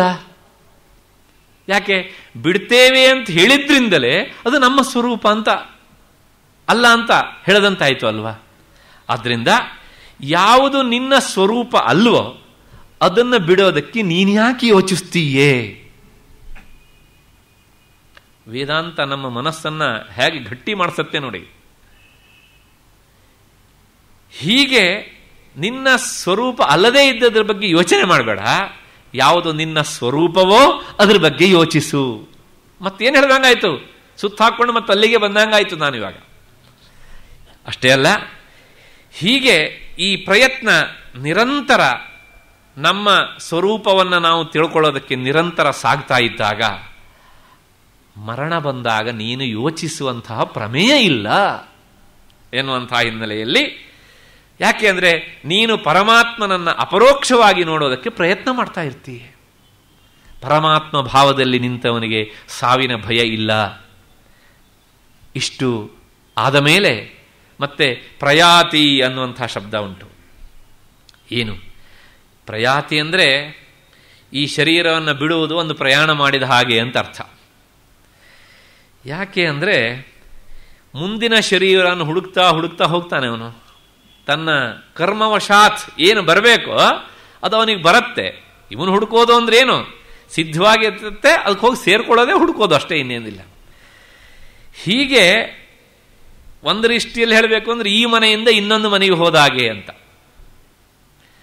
ಮತ್ತೆ ಜೀವನ, ಜೀವ ಆತ ಏನು ಮಾಡ್ತಾನೆ ಅಂದರೆ ಈ ಶರೀರವನ್ನು ಬಿಟ್ಟು ಇನ್ನೊಂದು ಶರೀರವನ್ನು ಸೇರುವುದೇ ಇಲ್ಲಿ ಪ್ರಯಾತಿ ಎನ್ನುವಂತಹ ಕ್ರಿಯಾಪದದಿಂದ ಗೀತಾಚಾರ್ಯ ಹೇಳಿದ್ದು. ಯಾತಿ ಅಂದರೂ ಸಾಕಿತ್ತು. ಅದೇ ಅರ್ಥ. ಮತ್ತು ಪ್ರಯಾತಿ ಅಂತ ಯಾಕೆ ಹೇಳ್ತಾನೆ ಕೃಷ್ಣ? ಅಂದರೆ ಎರಡು ಒಂದೇ ಅರ್ಥ ಆದ್ರೂ ಸಹ ಆ ಪ್ರ ಎನ್ನುವಂಥ ಉಪಸರ್ಗ ಇಟ್ಟಿದ್ರಂದು ವಿಶೇಷ ಸ್ವಾರಸ್ಯ ಬಂತು ಅದಕ್ಕೆ. ಏನು ಅಂದರೆ ನೀನು ಸುಮ್ಮನೆ ಯಾತಿ ಅಂತ ಹೊರಟು ಹೋದರೆ ಆ ಪ್ರಯಾಣದಲ್ಲೆಲ್ಲ ಮತ್ತು ಪುನಃ ಬರುವಿಕೆ ಅನ್ನೋದು ಉಂಟು ಆದರೆ ಪ್ರಯಾತಿ ಎನ್ನುವಂಥಲ್ಲಿ ಏನಾಗಿದೆ ಅಂದರೆ ಭಗವಂತನನ್ನ ಸ್ಮರಿಸ್ತಾ ಪ್ರಯಾಣ ಮಾಡ್ತಾನಾದ್ರಿಂದ ಪ್ರಯಾತಿ ಅಂತ ಅರ್ಥ. ಅಂಥವನಿಗೆ ಮತ್ತುನಃ ವಾಪಸ್ ಬರೋದು ಅಂತ ಇಲ್ಲ. ಆದ್ದರಿಂದ ಈ ಪುನಃ ಪುನಃ ಬರುವಿಕೆ ಎನ್ನುವಂತಹದ್ದು ಇಲ್ಲ ಅನ್ನುವುದೇ ಪ್ರಯಾತಿ ಎನ್ನುವಂತಹ ಕ್ರಿಯಾಪದದ ಸ್ವಾರಸ್ಯ. ಇಷ್ಟೆಲ್ಲ ಹೇಳಿ ಆದಮೇಲೆ ಮತ್ತೆ ನಮಗೆ ಇನ್ನೂ ಒಂದು ಸಂಶಯ ಬರುತ್ತೆ. ಏನು ಅಂದರೆ, ಹಾಗಿದ್ರೆ ಇಷ್ಟೆಲ್ಲ ಸಾಧನೆ ಮಾಡೋದಕ್ಕೆ ನಮ್ಮ ಹತ್ರ ಆಗೋದಿಲ್ಲ, ನಾವು ಹೆಂಗಸರು, ವಯಸ್ಸಾಗೋಯ್ತು, ಮಕ್ಕಳು, ಎಲ್ಲ ಭಾವನೆಗಳು ನಮಗೆ ಅಡ್ಡಿಯಾಗಿ ನಿಲ್ತವೆ. ಅಲ್ಲೊಂದು ಮಾತು ಹೇಳ್ತಾನೆ ಕೃಷ್ಣ, ಯಹ ಯಾವನು ಅಂತ. ಎಚ್ಚಬ್ದ ಪ್ರಯೋಗ ಮಾಡಿದ್ದಾನೆ. ಆ ಯಾವನು ಅಂದರೆ ಯಾವನು ಅಂದರೆ ಮನುಷ್ಯ ಅಂತ ಅಷ್ಟೇ ಅರ್ಥ. ಯಾವನೋ ಅವನು. ನೀನು ಮನುಷ್ಯನಾಗಿದ್ದರೆ ಸಾಕು.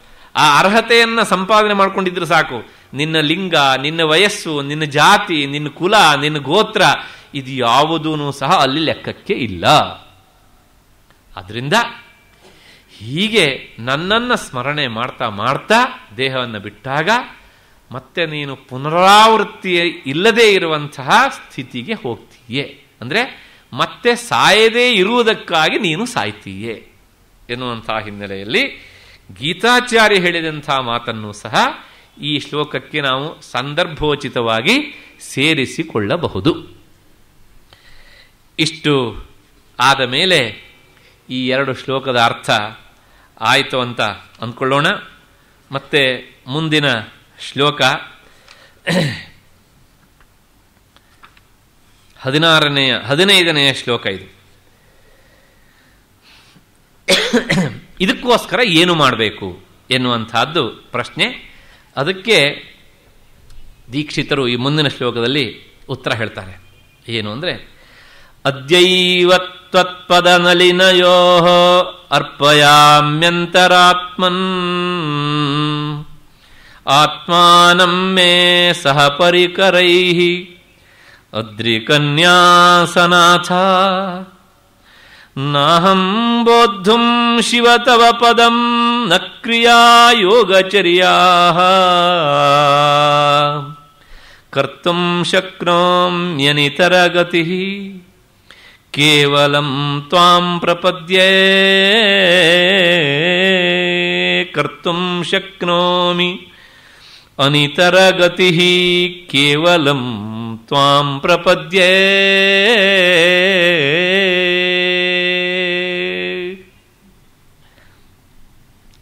ಏನು ಹೇಳ್ತಾರೆ ಅಂದರೆ, ಅಂತರಾತ್ಮನ್ ಅಂತಾರೆ ಮತ್ತೆ. ಅವರಿಗೆ ಆ ಅಂತರಾತ್ಮ ಎನ್ನುವಂತಹ ಶಬ್ದ ಬಹಳ ಇಷ್ಟವಾದಂತಹ ಶಬ್ದ. ಯಾಕೆ? ಮನಸ್ಸು ನಿಯಂತ್ರಣವನ್ನು ಕಳ್ಕೊಂಡಿದ್ರೂ ಸಹ ತನ್ನನ್ನು ಯಾರು ಒಳಗಡೆಯಿಂದ ಪ್ರಚೋದನೆ ಮಾಡ್ತಾ ಇದ್ದಾರೋ ಆ ಚೈತನ್ಯವನ್ನು ಅವರ ಮನಸ್ಸು ಗುರುತಿಸಿತ್ತು. ಹಾಗಾಗಿ ಮತ್ತೆ ಮತ್ತೆ ಅಂತರಾತ್ಮನ್ ಅಂತರಾತ್ಮನ್ ಅಂತ ಸಂಬೋಧನೆ ಮಾಡ್ತಾರೆ. ಅಷ್ಟು ಹೇಳಿ ಇನ್ನೊಂದು ಸಂಬೋಧನೆ ಮಾಡ್ತಾರೆ ಅವರು. ಅದ್ರಿ ಕನ್ಯಾಸನಾಥ ಅಂತ. ಅದ್ರಿ ಅಂದರೆ ಪರ್ವತ, ಅಂದರೆ ಹಿಮಗಿರಿ ಅಂತ ಅರ್ಥ. ಅವನ ಅಂದರೆ ಹಿಮವಂತನ ಕನ್ಯಾ ಮಗಳು, ಆಕೆಯ ಸನಾಥ ಪತಿ, ಅಂದರೆ ಪಾರ್ವತೀಪತಿ ಅಂತ ಇಷ್ಟ ಅರ್ಥ ನಾನು ಇವಾಗ ಏನು ಮಾಡ್ತೇನೆ ಅಂದರೆ, ಅದ್ಯೈವ ಸಂಸ್ಕೃತದಲ್ಲಿ ಈ ಅದ್ಯ ಎನ್ನುವಂತಹ ಶಬ್ದಕ್ಕೆ ಇವತ್ತು ಅಂತ ಅರ್ಥ ಉಂಟು. ಇನ್ನೂ ಮುಂದಕ್ಕೆ ಹೋಗಿ ವಿಚಾರ ಮಾಡಿದರೆ ಅದಕ್ಕೆ ಇವತ್ತು ಇಪ್ಪತ್ನಾಲ್ಕು ಗಂಟೆ ಅಂತ ಅಷ್ಟೇ ಅರ್ಥ ಅಲ್ಲ, ಈ ಕ್ಷಣ ಅಂತ ಅರ್ಥ ಉಂಟು. ಈಗಲೇ ನಾನು ಏನು ಮಾಡ್ತೇನೆ ಕೇಳಿದರೆ ತ್ವತ್ಪದ ನಲಿನಯೋಹೋ ನಿನ್ನ ಪಾದಾರವಿಂದಗಳಲ್ಲಿ ನನ್ನ ಆತ್ಮಾನಂ ಆತ್ಮಾನಂ ಅಂದರೆ ಮನಸ್ಸು ಅಂತ ಅರ್ಥ ಇಲ್ಲಿ, ಈ ಮನಸ್ಸನ್ನು ಪರಿಕರೈ ಸಹ ನನ್ನ ಇನ್ನುಳಿದ ಎಲ್ಲ ಇಂದ್ರಿಯಗಳ ಜೊತೆಗೆ ಅರ್ಪಯಾಮಿ. ಈಗಲೇ ನಾನು ನಿನಗೆ ಅರ್ಪಿಸಿ ಬಿಡುತ್ತೇನೆ. ಅಂದರೆ ನನ್ನ ಪಂಚೇಂದ್ರಿಯಗಳಷ್ಟೇ ಅಲ್ಲ, ಕರ್ಮೇಂದ್ರಿಯಗಳನ್ನೂ ಸೇರಿಸಿ ನಿನಗೆ ಅರ್ಪಿಸಿ ಬಿಡ್ತೇನೆ ಯಾಕೆ ಅಂದರೆ ಮತ್ತೆ ನಾಳೆ ಅಂತಂದರೆ ಅರ್ಪಣೆ ಮಾಡೋದಕ್ಕೆ ನನಗೆ ಅವಕಾಶ ಇದೆಯೋ ಇಲ್ಲೋ ಗೊತ್ತಿಲ್ಲ. ಹಾಗಾಗಿ ಅದ್ಯೈವ ಈ ಕ್ಷಣದಲ್ಲಿಯೇ ಇಷ್ಟು ಹೇಳಿ, ಯಾಕೆ ಅಂದರೆ ತವ ನಿನ್ನ ಪದಂ ಆ ಸ್ವರೂಪವನ್ನು ಬೋದ್ಧಂ ತಿಳಿಯೋದಕ್ಕೆ ಅಹಂ ನ ಶಕ್ನೋಮಿ, ನನ್ನ ಹತ್ರ ಆಗ್ತಾ ಇಲ್ಲ. ನಿನ್ನ ಸ್ವರೂಪವೇ ನನಗೆ ಗೊತ್ತಿಲ್ಲ ಅಂತ ಆದಮೇಲೆ ನಿನಗೋಸ್ಕರ ನಾನು ನಿನ್ನ ಸಂಬಂಧವಾದಂಥ ಯೋಗಾಭ್ಯಾಸವನ್ನಾಗಲಿ ಅಥವಾ ಇನ್ಯಾವುದೋ ಚಿಂತನೆಯನ್ನಾಗಲಿ ನಾನು ಹೇಗೆ ತಾನೇ ಮಾಡೋದಕ್ಕೆ ಸಾಧ್ಯ? ಹಾಗಾಗಿ ಅನಿತರ ಗತಿ, ನನಗೆ ಬೇರೆ ಗತಿಯೇ ಇಲ್ಲ. ನಿನ್ನ ಸ್ಮರಣೆ ಮಾಡೋದಕ್ಕೋಸ್ಕರ ನನ್ನ ಮನಸ್ಸನ್ನ, ನನ್ನ ಇಂದ್ರಿಯಗಳ ಜೊತೆಗೆ ನಿನಗೆ ಈ ಕ್ಷಣದಲ್ಲಿ ನಾನು ಸಮರ್ಪಿಸ್ತಾ ಇದ್ದೇನೆ. ಇಷ್ಟನ್ನು ಮಾತ್ರ ನಾನು ಮಾಡ್ತೇನೆ.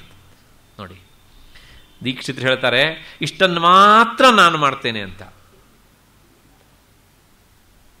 ನಮಗೆ ಇಷ್ಟನ್ನು ಮಾತ್ರ ಅಂತಲ್ಲ, ಇಷ್ಟೆಲ್ಲ ಸಮರ್ಪಣೆ ಮಾಡಬೇಕಾ ಅಂತ.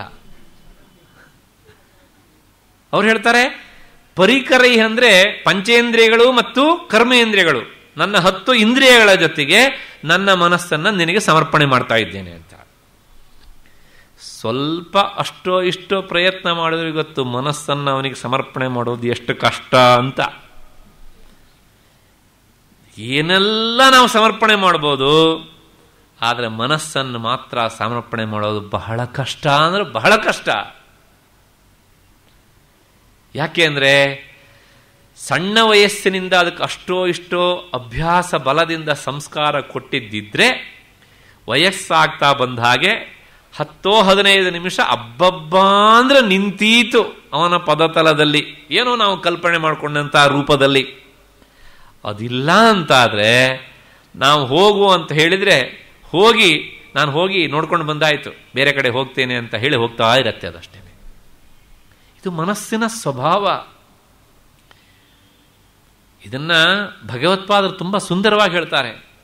ಮನುಷ್ಯ ನಿನ್ನ ಪೂಜೆಗೋಸ್ಕರ ಕಷ್ಟಪಟ್ಟು ಹೂವನ್ನು ಸಂಪಾದನೆ ಮಾಡ್ತಾನೆ. ಅಷ್ಟೇ ಅಲ್ಲ, ಗುಡ್ಡ ಗಾಡುಗಳಲ್ಲಿ ಅಲೆದು ಹೂವನ್ನು ತರ್ತಾನೆ, ಹಣ್ಣನ್ನು ತರ್ತಾನೆ, ಎಲ್ಲವನ್ನೂ ಸಮರ್ಪಣೆ ಮಾಡ್ತಾನೆ. ಆದರೆ ಒಂದನ್ನು ಮಾತ್ರ ಸಮರ್ಪಣೆ ಮಾಡೋದು ಅವನಿಗೆ ಗೊತ್ತೇ ಇಲ್ಲ.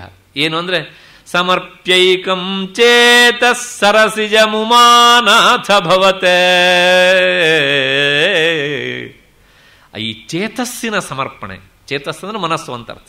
ಸಮರ್ಪ್ಯೈಕಂ ಚೇತ. ಇದು ಎಲ್ಲವುದನ್ನು ಹೊರಗಡೆದನ್ನು ಸಮರ್ಪಣೆ ಮಾಡಿದ್ರೂ ಸರಿ, ಮಾಡದೇ ಇದ್ರೂ ಸರಿ ಮನಸ್ಸೊಂದನ್ನು ಸಮರ್ಪಣೆ ಮಾಡಿದರೆ ಅದು ಎಲ್ಲವನ್ನೂ ಸಮರ್ಪಣೆ ಮಾಡಿದ ಹಾಗೆ. ಆದರೆ ನಾವು ಹೊರಗಡೆ ಎಲ್ಲವನ್ನೂ ಸಮರ್ಪಣೆ ಮಾಡ್ತೇವೆ. ಇದು ಒಂದನ್ನು ಮಾತ್ರ ಸಮರ್ಪಣೆ ಮಾಡಲಿಕ್ಕೆ ಆಗೋದಿಲ್ಲ. ಅದು ಸಮರ್ಪಣೆ ನಾವು ಮಾಡ್ಲಿಕ್ಕೆ ಆಗ್ತಾ ಇಲ್ಲ ನಮ್ಮ ಹತ್ರ ಅಂತನೂ ಗೊತ್ತಾಗೋದಿಲ್ಲ ನಮಗೆ. ದುರ್ದೈವ ಅಂದರೆ. ಯಾಕೆ? ನಮ್ಮ ಮನಸ್ಸು ಒಂದು ಕ್ಷಣಕಾಲ ಕೂಡ ಅದು ಒಳಮುಖವಾಗಿ ವಿಚಾರ ಮಾಡೋದಿಲ್ಲ. ಯಾಕೆ? ನಾವು ಏನು ವಿಚಾರ ಮಾಡೋದು ಸಹ ಮನಸ್ಸಿನ ಮೂಲಕನೇ ಮಾಡಬೇಕಲ್ಲ.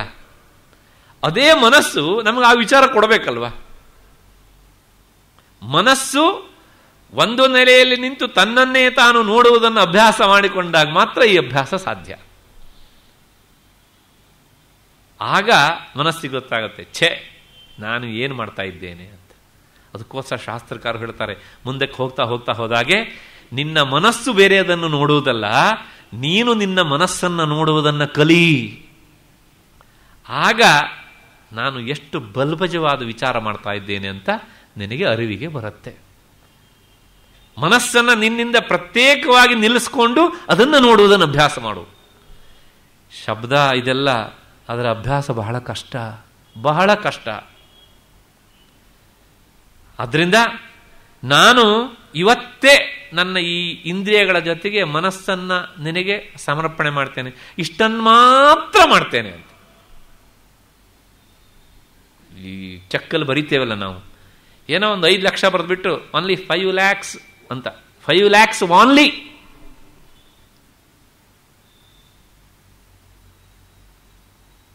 ಅಲ್ಲಿ ಯಾವ ಅರ್ಥದಲ್ಲಿ ಬರಿತೇವೋ ಗೊತ್ತಿಲ್ಲ.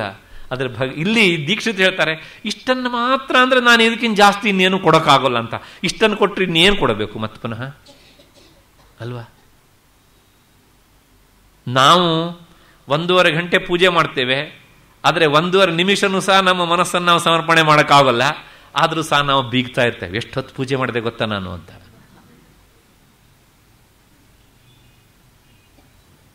ಹಾಗಾಗಿ ಈ ಶ್ಲೋಕಗಳೆಲ್ಲ ನಮಗೊಂದು ರೀತಿಯ ಕನ್ನಡಿಯಾಗಿ ಮುಂದಕ್ಕೆ ನಿಲ್ತವೆ. ನಮ್ಮ ಮುಖವನ್ನು ನಮಗೆ ತೋರಿಸ್ತವೆ. ನಮ್ಮ ಸ್ವಭಾವವನ್ನು ನಮಗೆ ತೋರಿಸ್ತವೆ ಇವು. ಹಾಗಾಗಿ ಇವತ್ತೇ ನನ್ನ ಮನಸ್ಸನ್ನು ಈ ಇಂದ್ರಿಯಗಳ ಜೊತೆಗೆ ನಿನಗೆ ನಾನು ಸಮರ್ಪಣೆ ಮಾಡ್ತಾ ಇದ್ದೇನೆ. ಅಂತ ಹೇಳ್ತಾ ದೀಕ್ಷಿತರು ಈ ಶ್ಲೋಕವನ್ನು ಮುಗಿಸ್ತಾರೆ.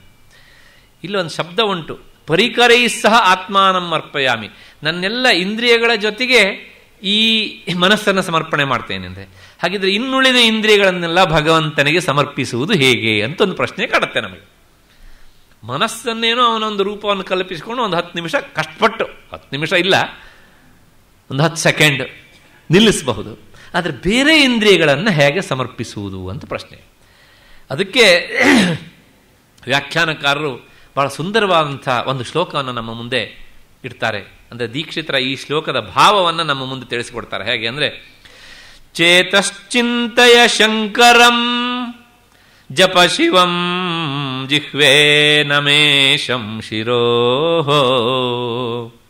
ನೇತ್ರದ್ವಂದ್ವಹರಂ ವಿಲೋಕಯ मृडम् श्रोत्रद्वयम् त्वम् शृणु। जिघ्रघ्राण सदा शिवाङ्घ्रि विलसद् जिघ्रघ्राण सदा शिवाङ्घ्रिविलसद्बिल्वच्छदानन्वहम् हस्ताम्भोरुह बिल्वकोमलदलैः ಶಂಭುಂ ಸಮಭ್ಯರ್ಚಯ ಹಸ್ತಾಂಭೋರುಹ ಬಿಲ್ವಕೋಮಲದಲೈ ಶಂಭುಂ ಸಮಭ್ಯರ್ಚಯ ಓ ನನ್ನ ಮನಸ್ಸೇ ಮೊದಲನ ಶಬ್ದನೇ ಅದು. ಚೇತಶ್ಚಿಂತಯ. ಚಿಂತಯ ಅಂದರೆ ಧ್ಯಾನ ಮಾಡು, ನಿರಂತರ ಆಲೋಚಿಸು. ಯಾರನ್ನ ಅಂದರೆ ಶಂಕರಂ. ಆ ಶಂಕರನನ್ನು ಸದಾ ನೀನು ಧ್ಯಾನ ಮಾಡು. ಯಾಕೆ ಅಂದರೆ ನಾವು ಸಾಮಾನ್ಯವಾಗಿ ಶಂಕರನನ್ನ ಮಾತ್ರ ಧ್ಯಾನ ಮುದ್ರೆಯಲ್ಲಿ ಕುಳಿತದ್ದನ್ನು ನೋಡ್ತೇವೆ. ತ್ರಿಮೂರ್ತಿಗಳಲ್ಲಿ ಇನ್ಯಾರನ್ನೂ ಸಹ ನಾವು ಧ್ಯಾನ ಮುದ್ರೆಯಲ್ಲಿ ಕುಳಿತಿದ್ದನ್ನು ನೋಡೋದಿಲ್ಲ. ವಿಷ್ಣುನಾದರೂ ಇರ್ಬೋದು, ಬ್ರಹ್ಮನಾದರೂ ಇರ್ಬೋದು. ಅಂದ ಮಾತ್ರಕ್ಕೆ ಇದು ಅವರ ನಿಂದನೆ ಅಲ್ಲ. ಆದರೆ ಶಂಕರನನ್ನು ನಾವು ಧ್ಯಾನ ಮುದ್ರೆಯಲ್ಲಿ ಕುಳಿತಿದ್ದನ್ನು ನೋಡೋದಕ್ಕಾಗತ್ತೆ. ಹಾಗಾಗಿ ಮನಸ್ಸೇ ಈ ಸೌಲಭ್ಯ ಉಂಟು, ಅವನನ್ನೇ ನೀನು ನಿರಂತರ ಧ್ಯಾನಿಸು. ಅಷ್ಟೇ ಅಲ್ಲ, ಓ ನಾಲಿಗೆ, ನೀನೇನು ಮಾಡಬೇಕು ಅಂದರೆ ಸದಾ ಶಿವ ಮಂತ್ರವನ್ನ, ಸದಾ ಶಿವ ಮಂತ್ರವನ್ನು, ಸದಾ ಶಿವ ಮಂತ್ರವನ್ನು. ಶಿವ ಅನ್ನೋದಕ್ಕೆ ಬೇಕಿದ್ರೆ ಸಗುಣ ರೂಪ ಅಂತ ಇಟ್ಕೊಳ್ಳಿ. ಅದನ್ನು ಸೇರಿಸಿಬಿಟ್ರೆ ಸದಾಶಿವ ಅಂದರೆ ಸದಾಶಿವ ಅಂದರೆ ಬ್ರಹ್ಮತತ್ವ ಅಂತ ಅರ್ಥ. ಬ್ರಹ್ಮ ವಸ್ತುವನ್ನು ನೀನು ಜಪಿಸುತ್ತಿರು. ಯಾವುದು? ಅಜಪಾಜಪದ ಮೂಲಕ ಅಂತ ಅರ್ಥ. ಅಷ್ಟೇ ಅಲ್ಲ, ಮುಂದೆ, ಓ ನನ್ನ ಶಿರಸ್ಸೆ, ನೀನು ಯಾವಾಗಲೂ ಶಿವನನ್ನು ನಮಸ್ಕರಿಸ್ತಾ ಇರು. ಮತ್ತೆ, ಓ ನನ್ನ ಕಣ್ಣುಗಳೇ, ನೀವು ಯಾವಾಗಲೂ ಸಹ ಹರನ ರೂಪವನ್ನು ಜ್ವಾಲಮಾಲಾಕುಲಂ ಭಾತಿ ವಿಶ್ವಸ್ಯಾಯತನಂ ಮಹತ್. ಎನ್ನುವಂಥ ಆ ರೂಪವನ್ನು ನೀವು ನೋಡ್ತಾ ಇರಿ. ಮತ್ತಷ್ಟೇ ಅಲ್ಲ, ಕಣ್ಣಾಯಿತು, ಮುಂದೆ ಕಿವಿ. ಓ ನನ್ನ ಕಿವಿಗಳೇ, ನೀವು ಆ ಮೃಡ ಮೃಡ ಅಂದರೆ ಶಿವ ಅಂತ ಅರ್ಥ. ಅವನನ್ನು ಮತ್ತೆ ಮತ್ತೆ, ಅಂದರೆ ಅವನಿಗೆ ಸಂಬಂಧಪಟ್ಟ ವಿಚಾರವನ್ನು ಮತ್ತೆ ಮತ್ತೆ ಕೇಳ್ತಾ ಇರಿ. ಅಷ್ಟೇ ಅಲ್ಲ, ಓ ನನ್ನ ನಾಸಿಕೆ, ಮೂಗೆ, ನೀನು ಯಾವಾಗಲೂ ಮೂಸುವುದು ನಿನ್ನ ಸ್ವಭಾವ. ಏನಾದರೂ ಮೂಸಲೇಬೇಕು ಅಂತ ಆದರೆ ಯಾವ್ಯಾವುದನ್ನು ಯಾಕೆ ಮೂಸ್ತೀಯೇ? ಹಾಗಿದ್ರೆ ಯಾವುದನ್ನು ಮೂಸಬೇಕು ಅಂದರೆ ಶಿವನ ಪಾದಕ್ಕೆ ಅರ್ಪಿಸಿದಂತಹ ಆ ಎಳೆಯದಾದ ಬಿಲ್ವ ದಲವನ್ನು ಮತ್ತೆ ಮತ್ತೆ ಮೂಸಮ್ಮ. ನಾನು ಸ್ತ್ರೀಲಿಂಗ ಹೇಳಿದೆ ಮೂಸಮ್ಮ ಅಂತ. ಯಾಕೆ ನಾಸಿಕಾ ಅನ್ನೋ ಸಂಸ್ಥೆಯಲ್ಲಿ ಸ್ತ್ರೀಲಿಂಗ. ಗೋಸ್ಕರ ಮತ್ತೆ ಮತ್ತೆ ಆ ಬಿಲ್ಲದಲವನ್ನು ನೀನು ಮೂಸ್ತಾ ಇರು. ಕೊನೆಗೆ ಇವೆಲ್ಲ ನೋಡಿ ಜ್ಞಾನೇಂದ್ರಿಯಗಳಾದವು. ಮನಸ್ಸು ಒಂದಾಯಿತು. ಮತ್ತೆ ಈ ಕಣ್ಣು, ಕಿವಿ, ಮೂಗು, ನಾಲಿಗೆ ಎಲ್ಲ ಜ್ಞಾನೇಂದ್ರಿಯಗಳಾದವು. ಕರ್ಮೇಂದ್ರಿಯಗಳ ಪ್ರತಿನಿಧಿಯಾಗಿ ಕೈಯನ್ನು ಈ ಶ್ಲೋಕ ಹೇಳುತ್ತೆ. ಏನು ಅಂದರೆ ಆ ಪರಮೇಶ್ವರನ ಪದತಲದನ್ನ ನೀನು ಕೋಮಲವಾದಂತಹ ಬಿಲ್ವ ದಳಗಳಿಂದ ಅರ್ಚನೆ ಮಾಡು. ಯಾರು? ಓ ನನ್ನ ಈ ಕರ ದ್ವಯಗಳೇ